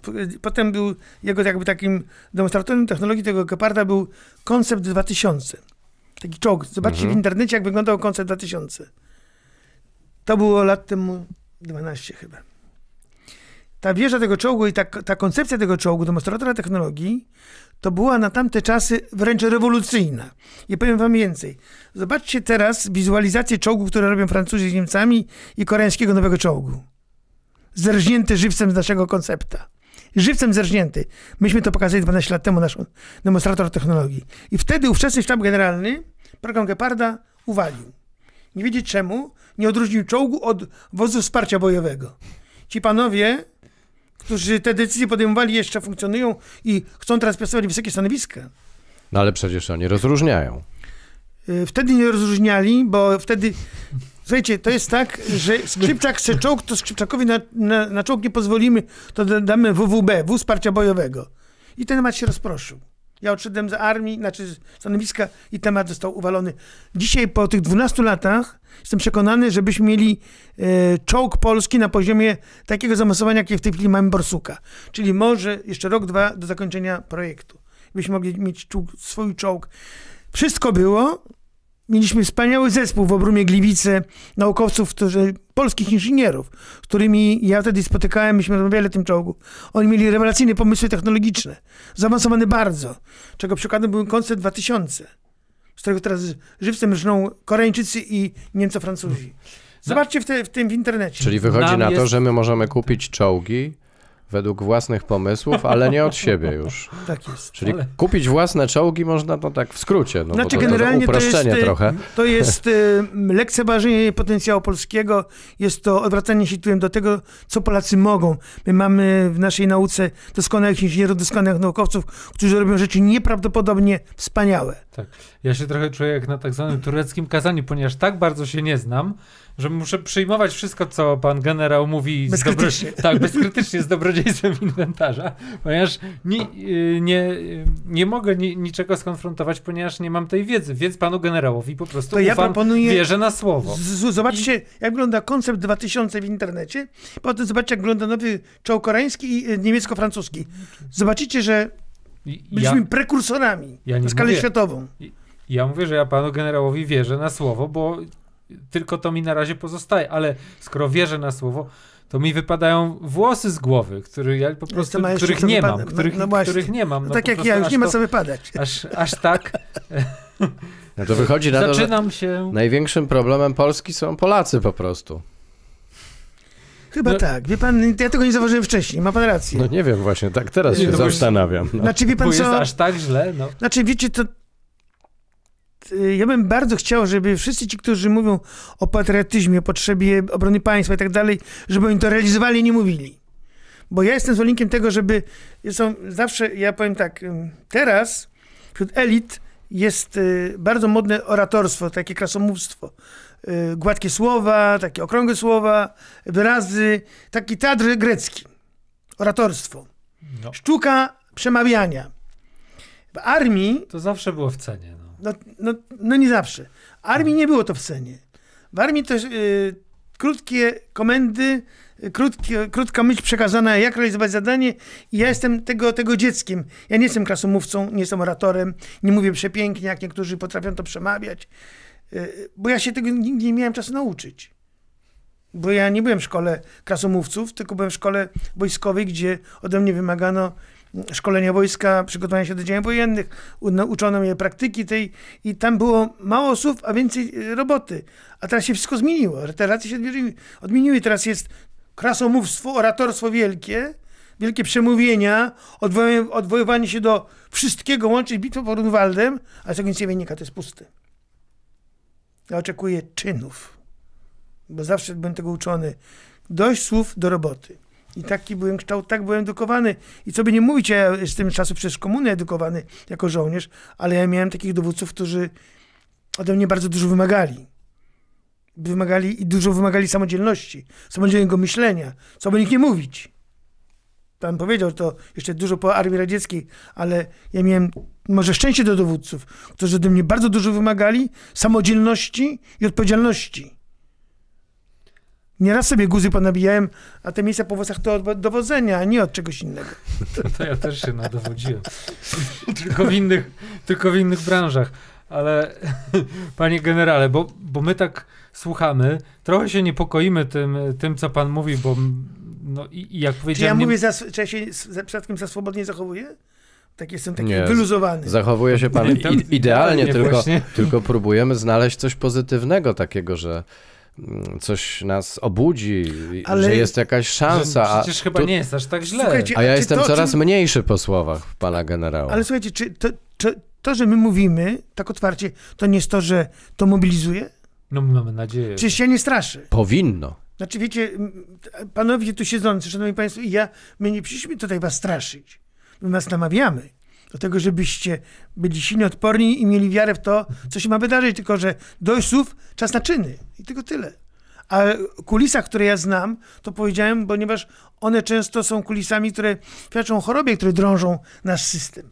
Bo to, bo to są objawy choroby, raka, można powiedzieć, który No nas tak, toczy. ale to już, to, już jest, to już jest wiele lat. To już jest wiele lat zaniedbań i ktoś musi Znaczy, uciąć to wszystko i rozpocząć właściwie prawie wszystko od nowa. Wiecie, to jest, nie, dramatem jest przesady, to, ale- że, że druga wojna światowa jeszcze, ona już dawno była i pokolenia, które teraz żyją, oni nie pamiętają, ja też go jej nie pamiętam, ja tylko znam ją z przekazów rodzinnych, y, bo dziadka nie poznałem, który zginął y, w 1939 roku, drugi spędził 5 lat y, w obozie. Mm, Moja rodzina przeszła Wołyń też.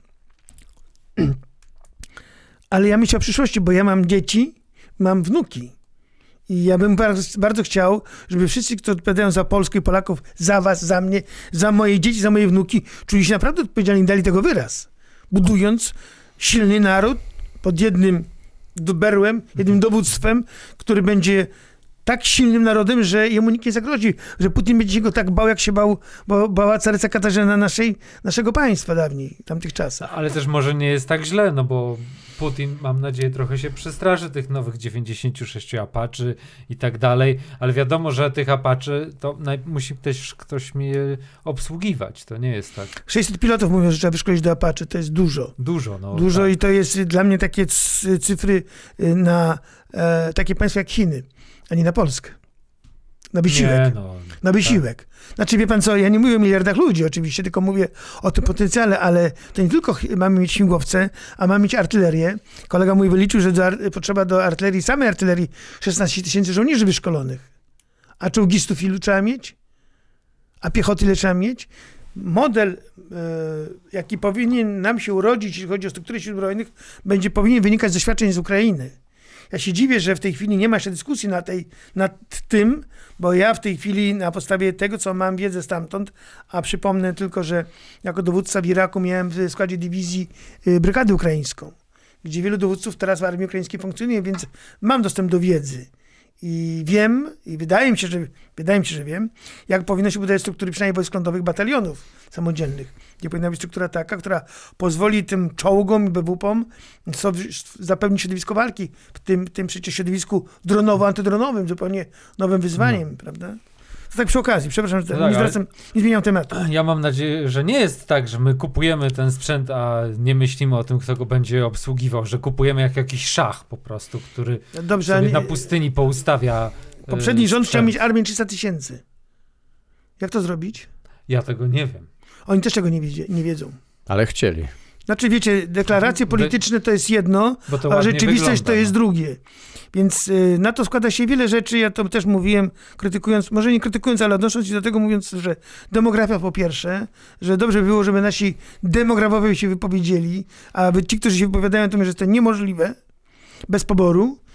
Y, no i socjologowie, którzy mówią, generalnie około 50% powiedział, że jak będzie wojna, to wyjadą z Polski. Młodych ludzi. No to, to na podstawie czego y, ci politycy szacują?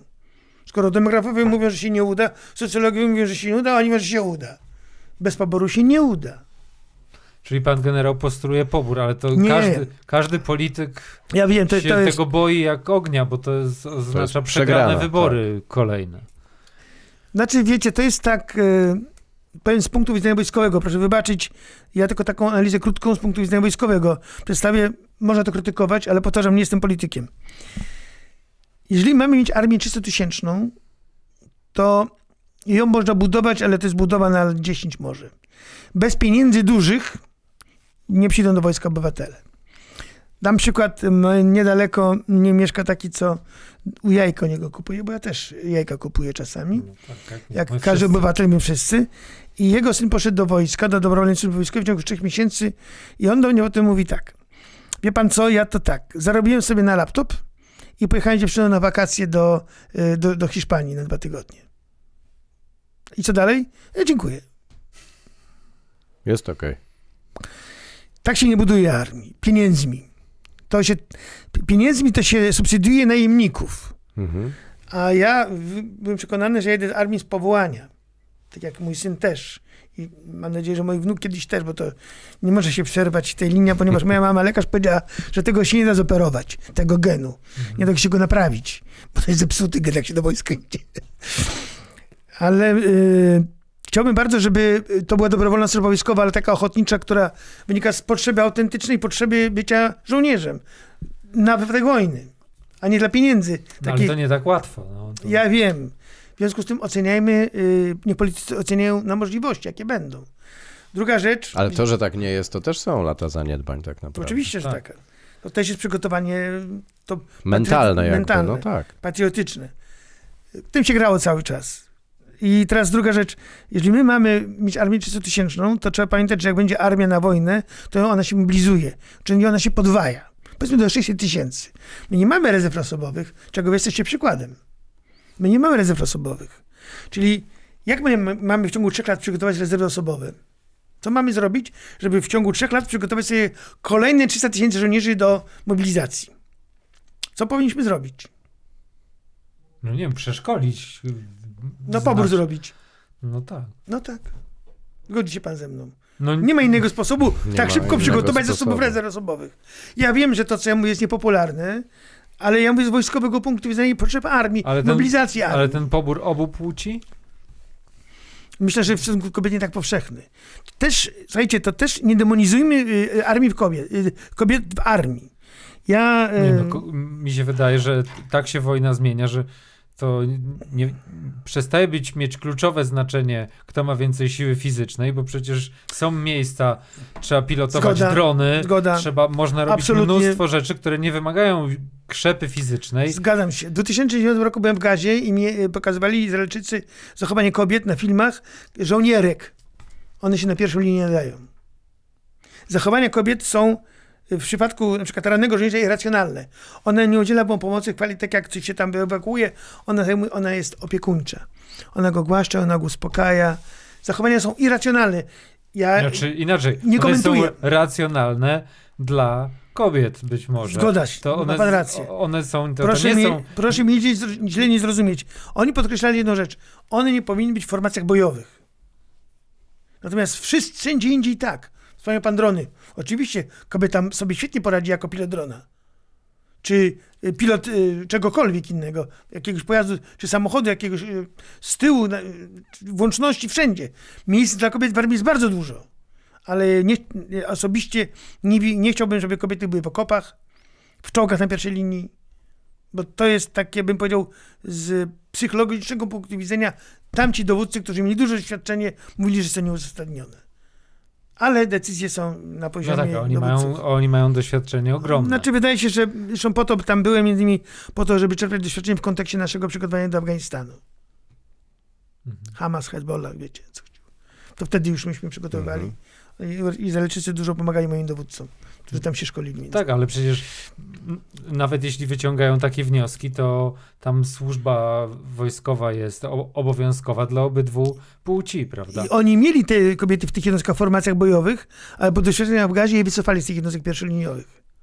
Oni wycofali z pierwszoliniowych. To nie znaczy wcale, że u nas politycy wycofają. To Tak. ja już Mhm. powiem, to już, to już nie moje kompetencje, natomiast posługuję się przykładem, którego doświadczyłem. A poza tym to no wcale, wcale nie jest powiedziane, że, że najważniejsza służba to jest tylko na tej pier pierwszej linii, bo Oczywiście na tego jednego walczącego trzech z tyłu pracuje. Też są bardzo ważni i sobie nie wyobrażam, żebym ja jako dowódca liniowy nie dbał również o tych, którzy są z tyłu. Oni są bardzo ważni, bo oni zasilają cały czas armię, tą walczącą. no dobrze. Panie generale, to od którego rocznika ten pobór? Znaczy ja, bym, ja uważam, że od najmłodszego, od tych wszystkich, którzy y, wchodzą w ten wiek taki powiedział produkcyjny, 24-25 lat. Ja wam powiem jeden przykład.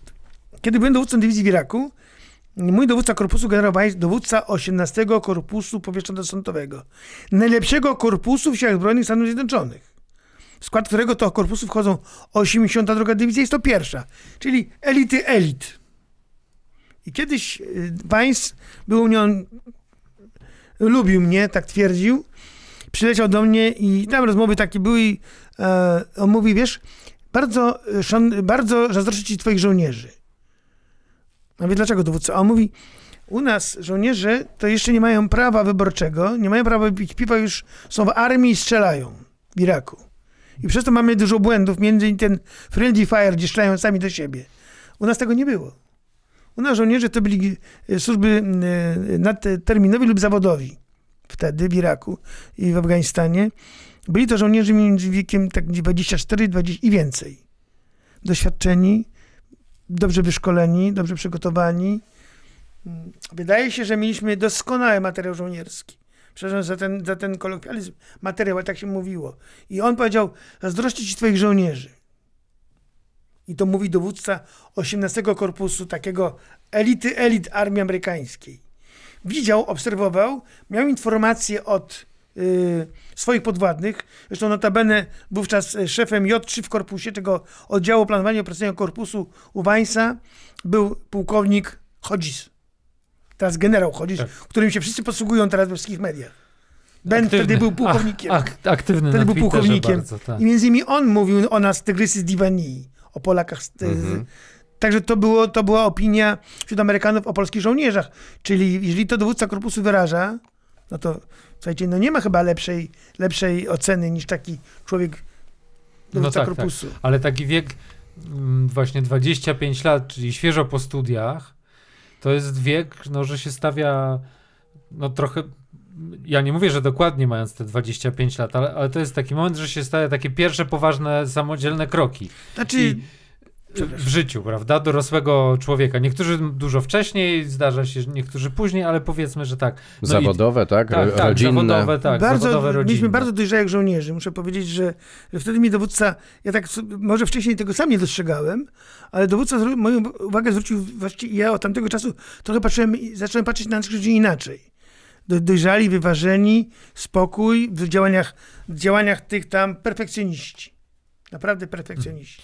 A, ale mi chodzi o, o to, że właśnie w tym wieku to jest bardzo trudno wyrywać człowieka do, do, za, do y, obowiązkowej służby wojskowej, do po prostu brać pobór akurat no, 25-latków. Powiem tak, to trzeba zdefiniować, bo jeżeli kiedyś to było wiek taki dobry 19 lat, to teraz może się to zmieniło, bo minęło 30 lat od y, zmiany systemu, zmiany Tak. ustroju, wielu innych rzeczy też i ekonomicznych czynników, socjologicznych czynników. Być może trzeba by dokonać przejść badania, który wiek jest wiekiem optymalnym. Ja, nie, ja teraz nie jestem w stanie powiedzieć. Czy to jest 18, 19, 22 czy 25. Ale bardziej bym stawiał tutaj na to, że będzie taki zryw w narodzie, który będzie polegał na tym, że będzie ochotnicza służba wojskowa i mnie o co jeszcze innego chodzi. Bo ten żołnierz szkolony w tej dobrowolnej służbie wojskowej nie jest specjalistą. Mi chodzi o specjalistę. O nowego czołgu, którego się co najmniej półtora roku szkoli, bo on ma system kierowania ogniem skomplikowany bardzo. To jest elektronika. Żeby ten operator haubicy też był wyszkolonym operatorem haubicy. Żeby ten y, obsługujący skomplikowaną radiostację był też specjalistą. I wiele innych specjalności, które wymagają nie trzymiesięcznego szkolenia. Trzymiesięczne szkolenie to jest podstawowe szkolenie, a niech będzie 6 9 miesięcy tego specjalisty, operatora pioruna, nawet tej rakiety przylotniczej, który wymaga naprawdę perfekcjonizmu. Czy tego PPK-owca, który z PPK strzela przeciwpancernego pocisku kierowego, który musi mieć rękę nabitą. To wymaga przeszkolenia i to nie 3 miesiące. Specjalista szkoli się, tak oceniam, od 6 do 9 miesięcy. Czy zrobić 12-miesięczną służbę wojskową? A może tak. Między 9 a 12. Ktoś chce być żołnierzem, niech powie, że chce być operatorem pioruna w rezerwie, to szkolimy go 12 miesięcy. Idzie na rok do wojska. My dajemy mu bonus, na przykład na wejście do wojska. Nie dawajmy tym co miesiąc 6,5 tysiąca tym dobro- dobrowolcom, których tracimy za 3 miesiące czy za rok. I nie, nie ma ich y, na celowniku nasz armii. Tylko niech on wejdzie w rezerwę tą aktywną, że on będzie przychodził raz w roku na 10 dni do wojska potrenować. Ale my go najpierw nauczmy tej podstawy, a potem on będzie przychodził raz w roku do odnowienia nawyków. Żeby sobie przypominał to, czego się Te nawyki. nauczył. Tak, ale ten pan y, generał użył takiego zwrotu zryw w narodzie. Ja nie wiem, jak to można. Kto by takie sobie. No nie ma Piłsudskiego. No czy w ogóle chyba w Europie jest tak, że jest przywództwo, jest kryzys przywództwa, no bo Bo ludzie nie wierzą politykom. no, Patrzcie na sondaże. Tak, no jakby nie, nie ufają. y, Patrzcie na sondaże. nie ma ludzi, y, za którymi by poszli. O. z charyzmą. Patrzcie na sondaże, jak jest. Bo to wynika z tego, że politycy, no jacy są, tacy są. No, I w- kiedy przychodzą do oceny y, polityków przez, w sondażach, ludzie nie wierzą politykom głównie. no ja się obawiam, że taki zryw w narodzie to jest dopiero możliwe jak brzytwa na szyi. Będzie no. za późno. Znaczy, ta świadomość powinna być w Polakach, y, Polkach i Polakach. Nie wiem, jak to zrobić i nie mam pomysłu, ja absolutnie, bo y, nie, nie mam kompetencji, ale uważam, że jest w narodzie taka część społeczeństwa, mówię tu o byłych żołnierzach, mówię tu o weteranach, żeby zorganizować korpus weteranów i wykorzystać w systemie edukacji. Korpus weteranów, takich ludzi, którzy byli w armii, przeszli przez armię, przeszli, przeszli przez Irak i przez Afganistan. To, to jest kilkadziesiąt tysięcy ludzi, których naprawdę, którzy są ogromnym potencjałem, absolutnie niewykorzystanym. Ja za takim przysposobieniem obronnym tylko na dobrym poziomie, nie to co my mieliśmy, bo, bo to co my mi- mieliśmy to naprawdę była kpina, yy, tylko na, na dobrym poziomie, no to, to bym głosował od razu. Tak, tak. Żeby to, i, żeby, i, żeby to, I żeby to zaczynać, wiesz, no nawet... Yy, ja nie mówię, że w liceach, ale można by w ostatnich klasach szkół podstawowych zaczy- Znaczy, zaczynać. ja proponowałem tam jakby sens. Poza tym to byłaby frajda chyba gdzieś tam raz na miesiąc czy na dwa miesiące gdzieś Znaczy, pojechać, Ja wiecie, nawet proponowałem, żeby się. stopniowo zacząć od y, szkoły średniej, oczywiście pierwszej klasy szkoły średniej, żeby to y, takie było szkolenie weekendowe. No tak, Y, właśnie. weekend, w- y, weekend w miesiącu, weekend w miesiącu, który e, na przykład w okresie wakacji dwa tygodnie obóz wojskowy. Mhm. Obowiązkowy obóz wojskowy, gdzie się nauczą strzelać i rzucać granatem na przykład. lub coś jeszcze innego. Taki początek. Taki tak? początek. Czyli takie Y, Druga klasa podobnie. trochę jak wychowanie szkolenie. fizyczne, Jeden tylko... weekend w tygodniu, jeden Mhm. weekend w miesiącu, potem znowu ten obóz. I słuchajcie, ale to też coś za coś. Oni kończą maturę i jadą na przykład na obóz miesięczny. Kończą ten obóz egzaminem na podchorążego. I on kończy szkołę średnią i on dostaje na przykład awans na stopień starszego szeregowego podchorążego wojsk pancernych na przykład. Albo nie dostaje, jeżeli Albo nie dostaje. zasługuje. Dlaczego wojsk pancernych? Bo on chciałby iść pójść do wojsk pancernych. I on idzie na studia, na licencjat albo na te dzienne studia czteroletnie. To już jest... I tam też przychodzi szkolenie wojskowe, ale już specjalistyczne. Na przykład on już jedzie do, na przykład na weekend do pierwszej brygady pancernej na Wesołej i tam zapoznaje się z czołgami, bo on chce być czołgistą. I my go szkolimy na dowódcę czołgu, bo to jest człowiek po studiach. I go szkolimy na dowódcę czołgu, że on będzie w perspektywie dowódcą czołgu. Kończy studia czteroletnie, ma obóz wojskowy z wojskiem, idzie na poligon z czołgami i on zdaje tam egzamin i zostaje po tym egzaminie już na przykład plutonowym podchorążym. Jeszcze nie oficerem. Ale Jest już blisko. Tak. jest blisko. I on potem przykład zalicza dwa ćwiczenia w armii. Po tych studiach wołają go na przykład na ćwiczenia do armii na 30 dni na miesiąc, co na przykład co dwa lata. I on kończy po dwóch latach, dostaje, zostaje oficerem. Ale moim zdaniem ten proces jego przygotowania byłby długi, nieuciążliwy dla niego na pewno, moim zdaniem, a jednocześnie daje nam perspektywie za 8 lat oficera rezerwy, wyszkolonego, Który coś potrafi. który coś potrafi. Właśnie, bo ja sobie tak, bo my nie naprawimy wszystkiego od razu. Ja się nasłuchałem tak od pana generała, to źle, to, to wszystko, ale małymi krokami, no coś zacznijmy Ale robić, prawda? Cokolwiek Zgoda- właściwie. Zgoda, wiecie Nie panowie, naprawimy wszystkiego trzy lata to ten termin, który podaje między innymi szef BBN-u, e, minister Siewiera, mówi trzy lata. Ja mówię, zacznijmy, tak jak pan powiedział. Ja nie mówię, że za lata uderzą, bo jestem przekonany, że nie uderzą. Natomiast rzeczywiście, jeżeli teraz zaczniemy, to zaczniemy zbierać, mieć żniwa za 8 lat. I ten system, jak będzie on funkcjonował, to on będzie nam gromadził te rezerwy. Myśmy przed wojną mieli, zgromadzili przez te 20 lat 3 miliony rezerwistów.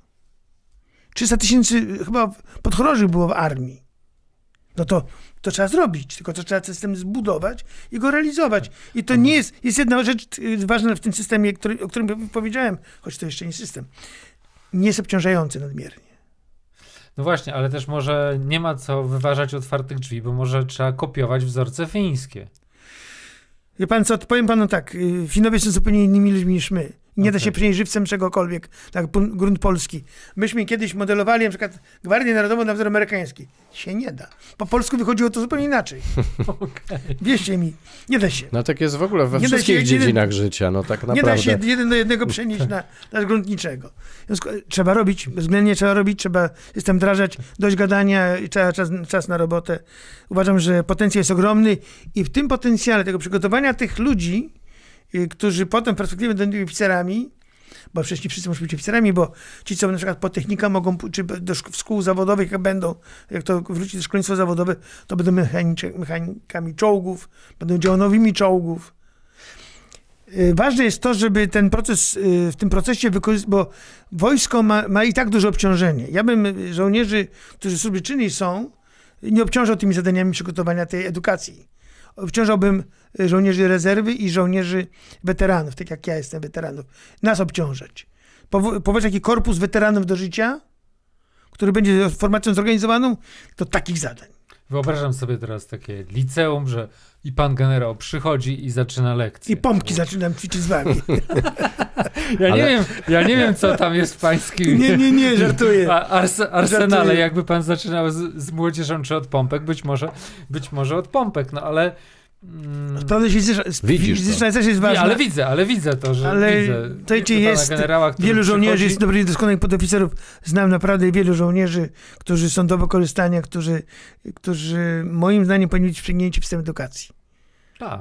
Ale to, Ja w ogóle to, miałbym taki pomysł, a to jest mój osobisty, pan generał może się z tym nie zgodzić. Zamiast księży. Kapelanów. Nie, księży, którzy uczą religii w szkołach. Ja bym to zamienił. Znaczy generalnie, y, no, powiem Tak, tak, no nie? Dwie lekcje religii w e- efekt, tygodniu. efekty byłyby na Pieniądze pewno przecież lepsze. dostają. Taka podmianka. To jest mój osobisty ale ja pomysł. proszę pana wyrażę swój pogląd też, zgadzam się z panem.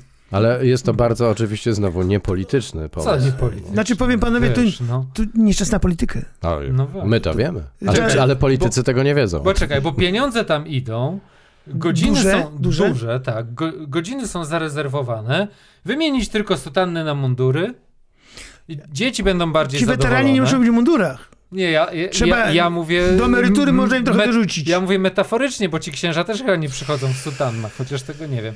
Dzieci będą bardziej Ale zadowolone. rewolucję dzieci wywołaliśmy. Zabrzmiało nieźle. Ale trwoga jest. W związku z tym trzeba to Ale wykorzystać. ile teraz hejterów po nas pojedzie za to, to zobaczymy.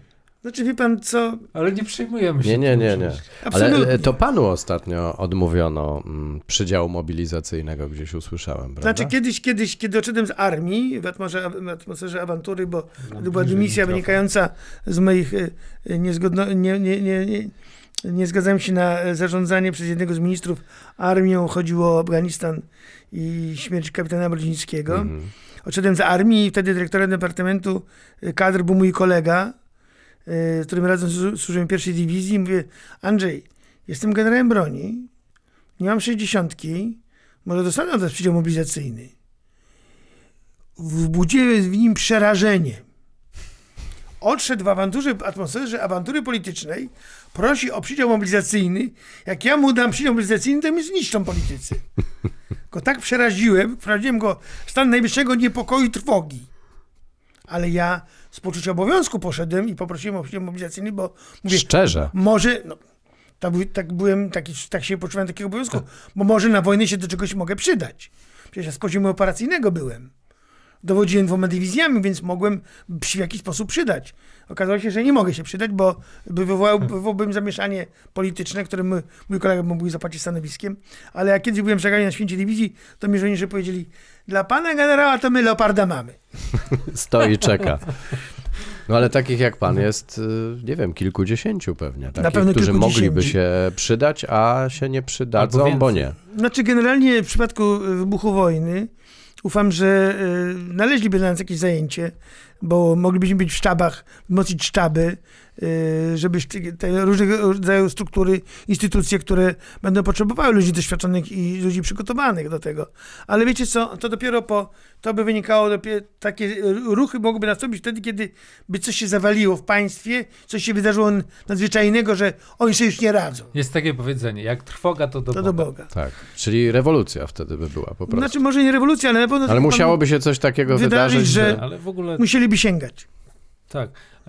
Tak sobie rozmawiamy, rozmawiamy i coś e, konstruktywnego się m, tak mam wrażenie Buduje. buduje, tak. Z tej Znaczy, generalnie- z tej- Pomysły, z no. tej- z My tej- rozmawiamy tylko po to, żeby Tak. Ale Ponieważ coś my z tego rozmawiamy z- wynikało, z- ale... z perspektywy ludzi, którzy kompletnie się nie znają na armii, to jest może właśnie lepiej, bo większość jest taka. ale no. pomysły, wiecie, to jest, y, to jest ważna rzecz bardzo, bo to, co powiedzieliśmy o programie amunicji, czemu go nie zbudować? Jeżeli jest pomysł na to, żeby, mówię o tym, lansuję ten, ten Narodowy Program Amunicji, jest wiele innych pomysłów. Program pancerny, wymieniłem go. Skoro teraz nie ma y, u nas produkcji czołgów, a musimy je mieć, skoro zdecydowano się na y, Maczka, patrz, Czarną Panterę, to bym zmusił Koreańczyków do odpalenia tu już produkcji w Polsce. Tylko, że Pegas od dwóch lat ma umowę i palcem nie kiwną, bo się spory między nimi w Pegazie toczą. Uciąłbym te spory kosą w jeden dzień.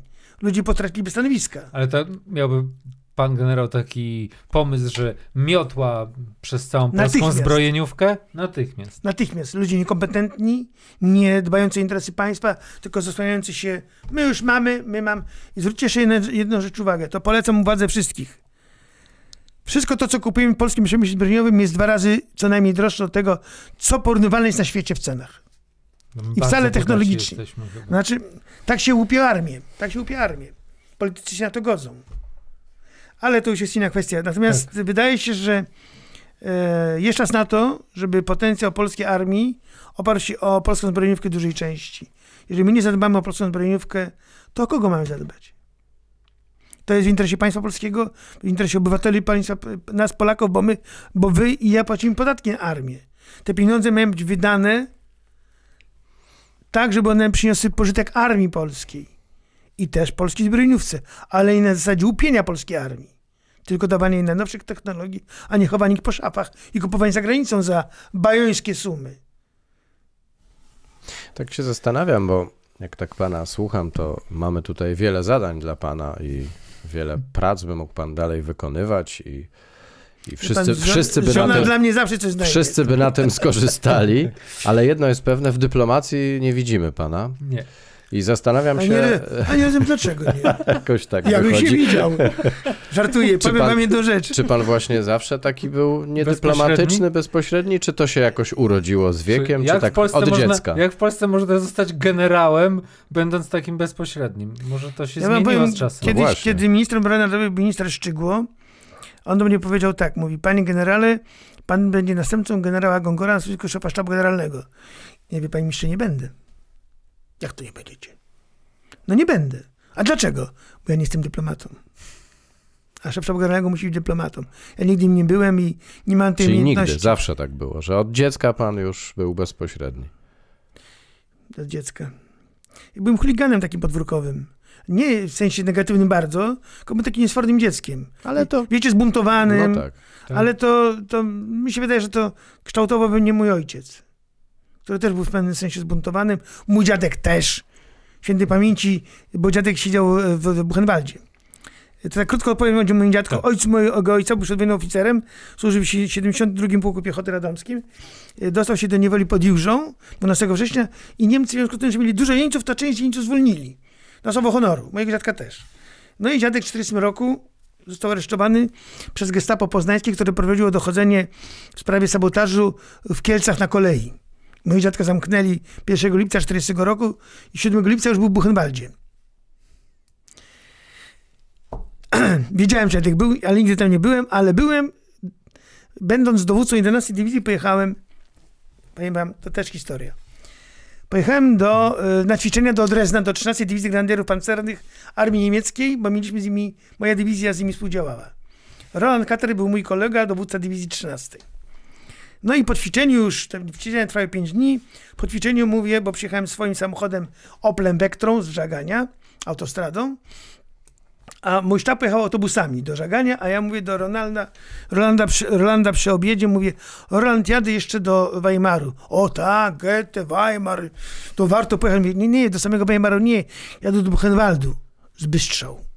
A czemu do Buchenwaldu jedziesz? To tam obóz koncentracyjny. Tam już prawie nic nie ma. Mówię, ale tam mój dziadek 5 lat był. Słuchajcie, Niemcy to przysiedli. Całe dowództwo dywizji. Przysiedli.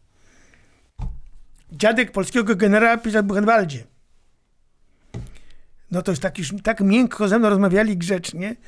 Yy, ale ja mówiłem, Roland, Roland, wszystko jest okej.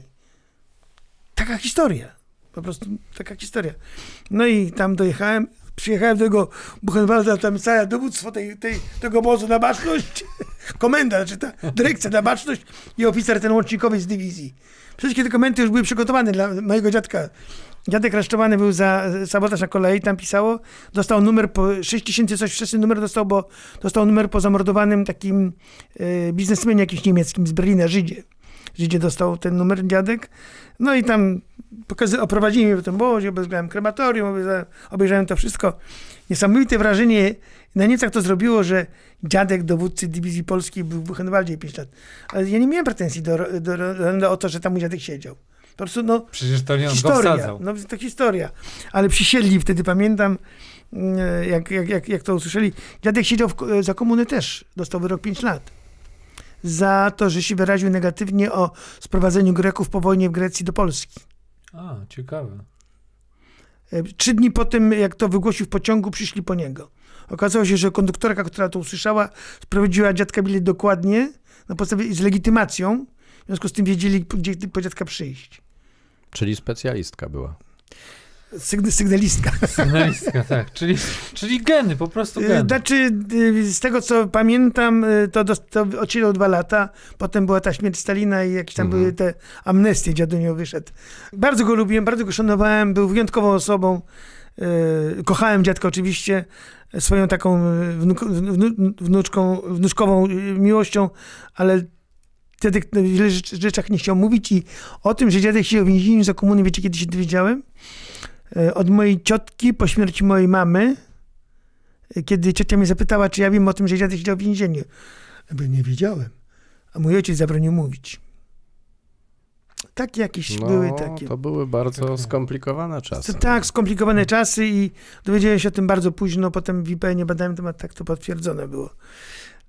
Czyli geny niedyplomacji są od dawna, a czy na przykład syn i dalej wnuczki też już pan widzi, że są dyplomatyczne problemy? Mm, Syn jest raczej taki, bym powiedział, pod przymożnym wpływem swojej mamy. I ma raczej charakter swojej mamy. Niekoniecznie się z synem zgadzamy w wielu kwestiach. Choć ja powiem tak, on jest żołnierzem też. Ja w jego sprawy wojskowe się w ogóle nie wtrącam, nie rozmawiam z nim. Staram się tym, tych tematów unikać, no bo on jest synem generała. Tak, nie Wiecie, jest mu łatwo. Nie jest mu łatwo, jemu służył y, 15 lat w garnizonie Świętoszów na Leopardach, także nie było mu łatwo od początku. No bo to są Ale zawsze starałem się- porównania jakieś takie. Dokładnie no tak. Starałem się nigdy nie wnikać i nawet y, z nikimkolwiek z jego dowódców rozmawiać na jego temat, bo byłoby to dla mnie trochę uwłaczające mojej godności, że ja wypytuję tak jakby sugerując, wiecie, to, to skrzypczaka syn, no mój syn, uważajcie. Nie, nie, nie nigdy. I zresztą on nawet kiedyś mi powiedział jako podporucznik, kiedy najechałem go y, w prywatnym mieszkaniu, y, w Żeganiu, gdzie mieszkał, wynajął sobie mieszkanie, nie wiedziałem, że z pięcioma kolegami. Jak ja tam przyjechałem, zobaczyłem ten Jak to z pięcioma kolegami. no. oficerami. Powiedziałem, zobaczyłem ten bałagan. Wyszedłem. Oczywiście oni wszyscy w gaciach na baczność stali, bo dowódca dywizji przyjechał. Wyszedłem stamtąd, a mój syn wyszedł za mną i mówi, nigdy do mnie nie przychodź. I miał rację. Więc nigdy już do niego nie przyszedłem. Scena z dobrego filmu. Dobra. Słuchajcie, to scena niesamowita, jak te chłopaki, e, koledzy z mojego syna z brygady oczywiście, z, sta, dowódca dywizji. I od razu na gaciach na barze jak w domu byli, nie? Wspominają to do dzisiaj na pewno. Spali na materacach, jakichś piworach, nie było łóżek, nie było mebli. No wie pan, Po co meble? No. no Nie- okazało się, że nie. Nie Potrzebne. pańska sprawa. Nie, syn mi powiedział, więc jeden przychodź. Tak jest, miał rację. Po co ja przyszedłem? Na przeszpiegi. Nie, do syna, chciałem syna odwiedzić. Chciałem wiedzieć, jak syn mieszka. A że, było, się- a że w sumie było ich sześciu. A że No było tak. jak w sumie razem. To było niesamowite. A to jest scena filmowa, a ja też miałem takie mm, do pana pytanie, kiedy zobaczymy i czy w ogóle serial na podstawie książki Zapiski irackie, czwarta zmiana Irak? Widzieliście tą książkę? No oczywiście, że tak, ale to, to serial powinien być kręcony. Znaczy wiecie, to też I od taka razu jest pytanie, kto by pana zagrał? misja Afganistan, zobaczcie. Z, pa- z Małaszyńskim. Tam dużo wątków moich jest. Wplecionych tam. Mhm. Paweł Małaszyński to jest syn mojego przyjaciela. Mieszka Małaszyńskiego, mojego przyjaciela, jeszcze z, Akademii Sztabu Generalnego. Do siebie przyjaźnimy i dużo wątków wplecionych jest tam. Mhm. Tych. Z synem generała też między innymi. Czyli ten Małaszyński to taki trochę skrzypczak. Trochę tak, trochę tak. A to ciekawe. Trochę tak. Y, Kiedy film o czwartej zmianie w Iraku. Kiedy jechałem do Iraku, uznałem, że musi być coś, co będzie dokumentowało nasze działania tam. I taki major y, chłopek, ja nie pamiętam jego imienia, ale wydałem rozkaz jemu, żeby zrobić dwie książki w tym czasie, kiedy mnie nie będzie. Jedną to jest książka o 11 Dywizji, historia 11 Dywizji. Ona została wydana, bardzo fajna książka. A on historia dywizji jest, także ona nie była dostępna, ale jest o naszej dywizji, 11 Dywizji Kawalerii Pancernej, czarnej dywizji. I drugą to napisał na podstawie dokumentów, które by, były dosłane z Iraku. I pisali je wszyscy w zasadzie e, moi szefowie, ja też, wszyscy szefowie komórek organizacyjnych pisali te, te, te e, historie swoich komórek organizacyjnych, swoich działań i tak dalej. Wszystko to było dokumentowane. Ja powiedziałem, wszystko mieć dokumentowane. Wszystko ma znaleźć się w tych zapiskach irackich. I to jest. I to jest, książka została wydana jakoś krót, krótko po naszym powrocie. Ona została wydana w ilości 2,5 tysiąca egzemplarzy. Mało było. Wiecie tak. czemu 2,5? Dlatego, że Polaków było 2,5 pod moją komendą. Każdy dostać miał za darmo jeden egzemplarz. To nie było w sprzedaży. No nie to nie było, było nie dostępne. było. Tylko intencją moją było, żeby wszyscy ci, którzy byli ze mną Polacy, dostali książkę do ręki. I dokument, że miał dokument w ręku. I nawet syn niedawno mi mówi, bo ja gdzieś to powiedziałem y, ponownie w mediach, że ta książka jest, syn znalazł kolegę, który był ze mną w Iraku, a który tej książki nie ma. Ale ja mam dla niego książkę. Wszyscy dostaną. Nie ma tak, żeby ktoś nie dostał. Uważam, że to jest świadectwo tego, gdzie byliśmy i co robiliśmy. Wbrew temu, co wielu z nas robi okupantów w Iraku i tak dalej. Ja uważam, że ta książka, zapiski radzkie czwartej zmiany, którą dowodziłem, świadczą o tym, że byliśmy dobrymi ambasadorami w sprawie Polski w Iraku. Taka była intencja Mhm. przesłania i powstania tej książki. I tam się pojawia po raz pierwszy wątek czarnej dywizji, bo dowódca korpusu, ten Wajs mnie pyta, mówi, czemu ty chodzisz w czarnym berecie? Bo jestem w czarnej dywizji. No i tak się Ale zaczęło. My byśmy zobaczyli taki serial, Tak, naprawdę. ciekawe. Tak. Z dużym budżetem oczywiście. tak, a wracając do tego Iraku, Tego się nie to, robi w Polsce. tak, No nie. ostatnio słowa ministra Sikorskiego, który mówił, że faktury nie wystawiliśmy Amerykanom, prawda? Powiem tak, y, nie wystawiliśmy, ale wydaje się, jestem przekonany nawet, że my swoją postawą w Iraku udowodniliśmy Amerykanom, że, że jesteśmy dobrymi żołnierzami. I powiem, y, Nie, ale to w, po, w pozytywnym kontekście, Tak, tak, że, tak, my, tak. że my tutaj z wami ramię w ramię faktury nie wystawialiśmy, więc oczekujemy dokładnie tego samego. minister ma rację, absolutnie minister ma rację. Zresztą y, jestem takim, bym powiedział, y, entuzjastą tego, co mówi minister Sikorski, szczególnie teraz, wobec tego zagrożenia. Może się to Bo wielu nie podobać. jest ministrem dyplomacji, ale tak chwilami właśnie jest takim nie do końca dyplomatą i to się podoba. Znaczy generalnie powiem, y, za ministra Sikorskiego zostałem, y, kiedy był ministrem narodowej, zostałem dowódcą wojsk lądowych. Tak, tak. Nie wiem, co zadecydowało o tym. E, Czy to, że był na ćwiczeniach u mnie na, na kondzie, wtedy jak byłem dowódcą dywizji i na forsowanie przyjechał z ministrem Stasiakiem z BBN-u. Obaj stali i, i, i okazało się pod koniec ćwiczenia, trzy dni później, kiedy ćwiczenie się zbliżało ku, ku finałowi, y, dostałem telefon z Warszawy od dowódcy wojsk lądowych generała Pietrzyka, że mam, y, że samolot po mnie leci. Ja w polu, znaczy, to mogę powiedzieć? No Tak. pewnie. Siedzę na stanowisku dowodzenia? Siedzę na stanowisku dowodzenia w polu.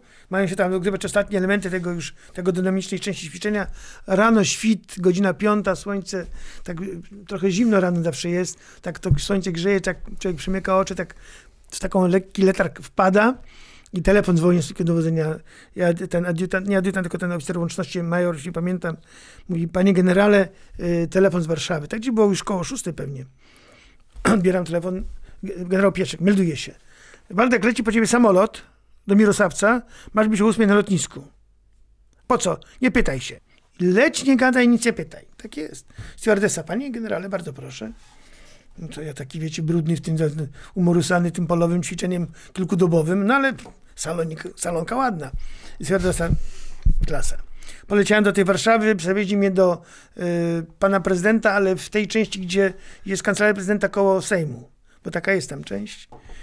Mm, Do prezydenta wszedłem y, z panem Stasiakiem. Rozmowa trwała może 3 minuty. Czy zostanie pan generał dowódcą wojsk lądowych? Tak jest, panie prezydencie. Dziękuję. No i za drzwi na lotnisko w samolot. Na lotnisko w Mirosławcu wylądowaliśmy, a mój kierowca gratuluję dowódco. A co ty, Mirek? W radiu mówili. Szybko poszło. Szybko poszło. No i na, na defiladę mojej dywizji nie zdążyłem, bo już byłem, po- było po defiladzie mój zastępca, generał Rozum, który też już nie żyje niestety, defiladę przeprowadził, także nie byłem uczestnikiem defilady, no ale wtedy się tylko pakowałem, no bo wróciłem, powiedziałem, tylko poprosiłem dowódcę wojsk lądowych, żeby pozwolił mi do końca dywizji doprowadzić do garnizonów, zakończyć ćwiczenie, bo to była sprawa najważniejsza. Chodziło też o bezpieczeństwo wojska mojego, nie? A pan ma kontakt ze swoimi żołnierzami z Iraku cały czas? Znaczy generalnie to się bardzo często zdarza. Ja wam powiem, że ja w związku z tym, że y, mieszkam pod Warszawą, często korzystam z komunikacji miejskiej. I zdarza się, że na dworcu nawet, czy gdziekolwiek, y, gdzieś daleko jeżdżę, bo czasami jeżdżę na wykłady, czy do Poznania, czy do y, Wr- Wrocławia, czy gdziekolwiek, bo mnie czasami zapraszają. Nie często, ale czasami. To, to żołnierze podchodzą i się witają ze mną. Dzień dobry, panie czy pan pamięta. Trudno, żebym pamiętał wszystkich No tak. Ale jest to miłe. Jest to miłe i staram się pomagać. Często są telefony takie, że żołnierz dzwoni, że ma jakiś problem z rehabilitacją. To dzwonię, dźwięk mojego nazwiska dla, jeszcze dla, na wielu działa. Szczególnie na ludzi, którzy są oddanymi też i żołnierzom, bo ja nie dzwonię do polityków, ja dzwonię do lekarzy, dzwonię do dyrektorów szpitali i dźwięk nazwiska okazuje się, że wielu pomaga, nie? otwiera drzwi. Cóż mi to? Prywatna pomoc dla weteranów. Znaczy generalnie uważam, że nadal... Telefon, telefon zaufania. Generalski telefon zaufania. Nadal jestem dla nich dowódcą. I uważam, że takiej, w tym się mogę też i spełniać i mogę pomóc swoim żołnierzom, panowie. A wracając, kosztuje. wracając trochę do dyplomacji, bo mówi pan, że do polityków nie dzwoni i teraz się, a pana nazwisko gdzie niegdzie działa jeszcze, prawda? E, Zastanawiam się, czy jakby pan dzwonił do polityków, to odebraliby? Znaczy są tacy, co odbierają i nie wypierają się znajomości ze mną. No Oczywiście, nie, że czyli nie jest tak źle. Znaczy nie, Czyli nie. może pan wpływać jeszcze na polityków swoimi pomysłami. Znaczy wie pan co, ja nie jestem z tych, którzy są tacy, tacy natrętni. No ale my tu przedstawiliśmy dużo dobrych pomysłów. Może właśnie. Nie, może bez przesady, że dużo, głównie pan generał, ale No, tylko Ale, właściwie znaczy, pan, tak. To, to, to jest też trochę takiej pokory w sobie też trzeba mieć. Ale trzeba może właśnie tego natręctwa trochę, żeby coś zmienić. Znaczy, wie pan, mi trudno ry- rywalizować z tymi, którzy są wokół polityków. Bo są to z reguły ci, którzy mnie nie lubią, lub ci, którzy widzą we mnie zagrożenie. Stąd nie staram się nawet tej bariery pokonywać, bo politycy otaczają się takimi, y, którzy w ich ocenie są najskuteczniejsi i najlepsi. Do nich ja nie należę. Pan nie jest klakierem. Nigdy nie byłem. No tak mi się wydaje. Nawet za czasów, za czasów komuny, kiedy mój dowódca pułku, y, Sylwester Strong, świętej pamięci, mm, był takim bardzo ostrym dowódcą. Bardzo ostrym dowódcą. Ojej, był bardzo ostrym dowódcą. Czyli stereotyp taki. Ale kiedy ze mną rozmawiał, taki miękki się robił stary. Ale wiecie dlaczego? Że miałem u siebie w kompanii porządek, miałem pokładane wszystko. I moje wojsko było świetnie wyszkolone. Stary mówi tak, jeżeli mam komukolwiek zadanie jakieś specjalne powierzyć do wykonania, trudne, to tobie dam zawsze. Pamiętaj o tym. I zawsze robi mi wakacje w lipcu, bo wysyłał mnie jako kierownika strzelań morskich. Mój pułk jako jedyny w Wojsku Polskim miał szalenia morskie, czyli w ramach odparcia desantu. Czołgi stały na plaży i strzelaliśmy strzały w morze, tak? strzelały do tarczy na morzu. I teoretycznie takie strzelania trwały 2-3 dni, ale jak się pojechało do portu, do Ustki, do Mary, do Bosmana, który był dowódcą Kutra, który tarczę wyciągał, i mówię to do widzów, to jak mu zawiozłem pół litra, to tarczę wywoził dopiero za 3 dni. Wyciągał na 3 dni, więc myśmy w tym czasie w kompanią moją żołnierzami mogliśmy się wyplażować, porelaksować, odwiedzić wieczorami Ustkę nie- nieodległą i po prostu odpocząć sobie. I, ale szczelenie odbyć oczywiście. No, nie, Bez pośpiechu. To na pewno. Czy to jeszcze dzisiaj ma sens, tre, trenowanie takiego ostrzału w morze? Znaczy, tłumaczą mi to niektórzy, że jest to strzelanie na odległości, na które na poligonach się nie da strzelać, czyli Okej. wykraczające poza 40 km. I to jest uzasadnione. Tutaj przyznaję rację tym, którzy mnie skrytykowali za to, że powiedziałem, że strzelanie na cele, do celi na morzu nie ma uzasadnienia, bo flota bałtycka jest zamknięta. Ale oni uzasadnili to tym, że, yy, na, że jeżeli chodzi o haubice, tam strzela się dalej, a na poligonach tak daleko się da strzelać. Zgoda. Zgoda. Okej. Wycofałem się z tego.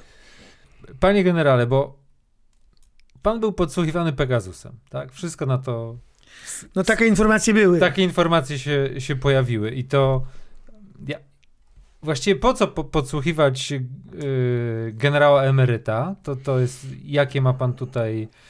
e, Może zagrożenie byłem dla kogoś, jakaś No. torpeda. Jakie ma pan pomysły na jakie siebie? Ma, jakie tak? ma pan pomysły? A, a drugie pytanie jest prywatne, czyli jakie to jest e, uczucie? Jak się pan czuł? Do, jak się pan poczuł? Jak się pan dowiedział?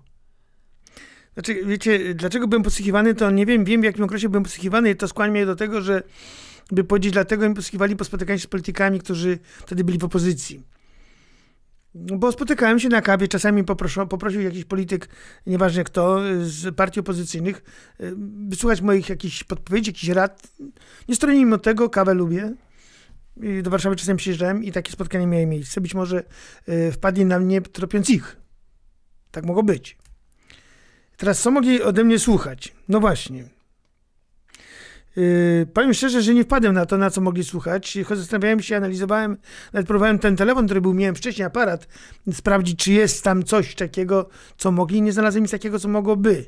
Nawet poprosiłem kolegę specjalistę od telefonów, mówi, że nie wie, co mogli słuchać. Po prostu, no, yy, tylko że włamań było kilkanaście. Czyli musieli szukać długo i Mhm. Namiętnie. namiętnie i pytamy, pytanie jest takie, czego szukali? Nie? To pewnie Wąsik wie i Kamiński wiedzą, czego szukali pewnie e, oni mogli coś powiedzieć więcej. Ale nie powiedzą. Powiem tak, nie mam sobie nic do, do zarzucenia. E, Tam się e, w tej informacji pojawiły trzy nazwiska, znaczy dwa nazwiska, w tym jednego generałów, ale oni, ich tropiono za to, że pracowali dla jakiejś firmy zachodniej czy kogoś biznesowo. Ja dla nikogo obcego nie pracowałem. Jeżeli pracowałem, to dla polskich firm. Pracowałem kiedyś dla Wojskowego Instytutu Technicznego Uzbrojenia jako doradca w zarządu, znaczy doradca dyrektora, ale mnie wyrzucili z pracy, bo skrytykowałem Misiewicza. Nie wiem, czy pamiętacie ten... Pamiętamy tę postać, No, tak. no, pamiętacie tą postać, więc ja skrytykowałem y, sobie w telewizji bardzo mocno. Misiewicza te dwa dni usunęli, ale mnie też. Niestety ciężko, cię- ciężko zapomnieć tę postać. Cie, tak. Ciężko tę postać. No ale musiał to za- ktoś zrobić. Spadło to na mnie. Wziąłem ten ciężar na siebie i się poświęciłem i odszedłem z pracy z godnością. Osobistą. Tak, ale. y, a teraz druga, dru, druga część pytania. Czyli jak się pan poczuł, jak się pan o tym dowiedział?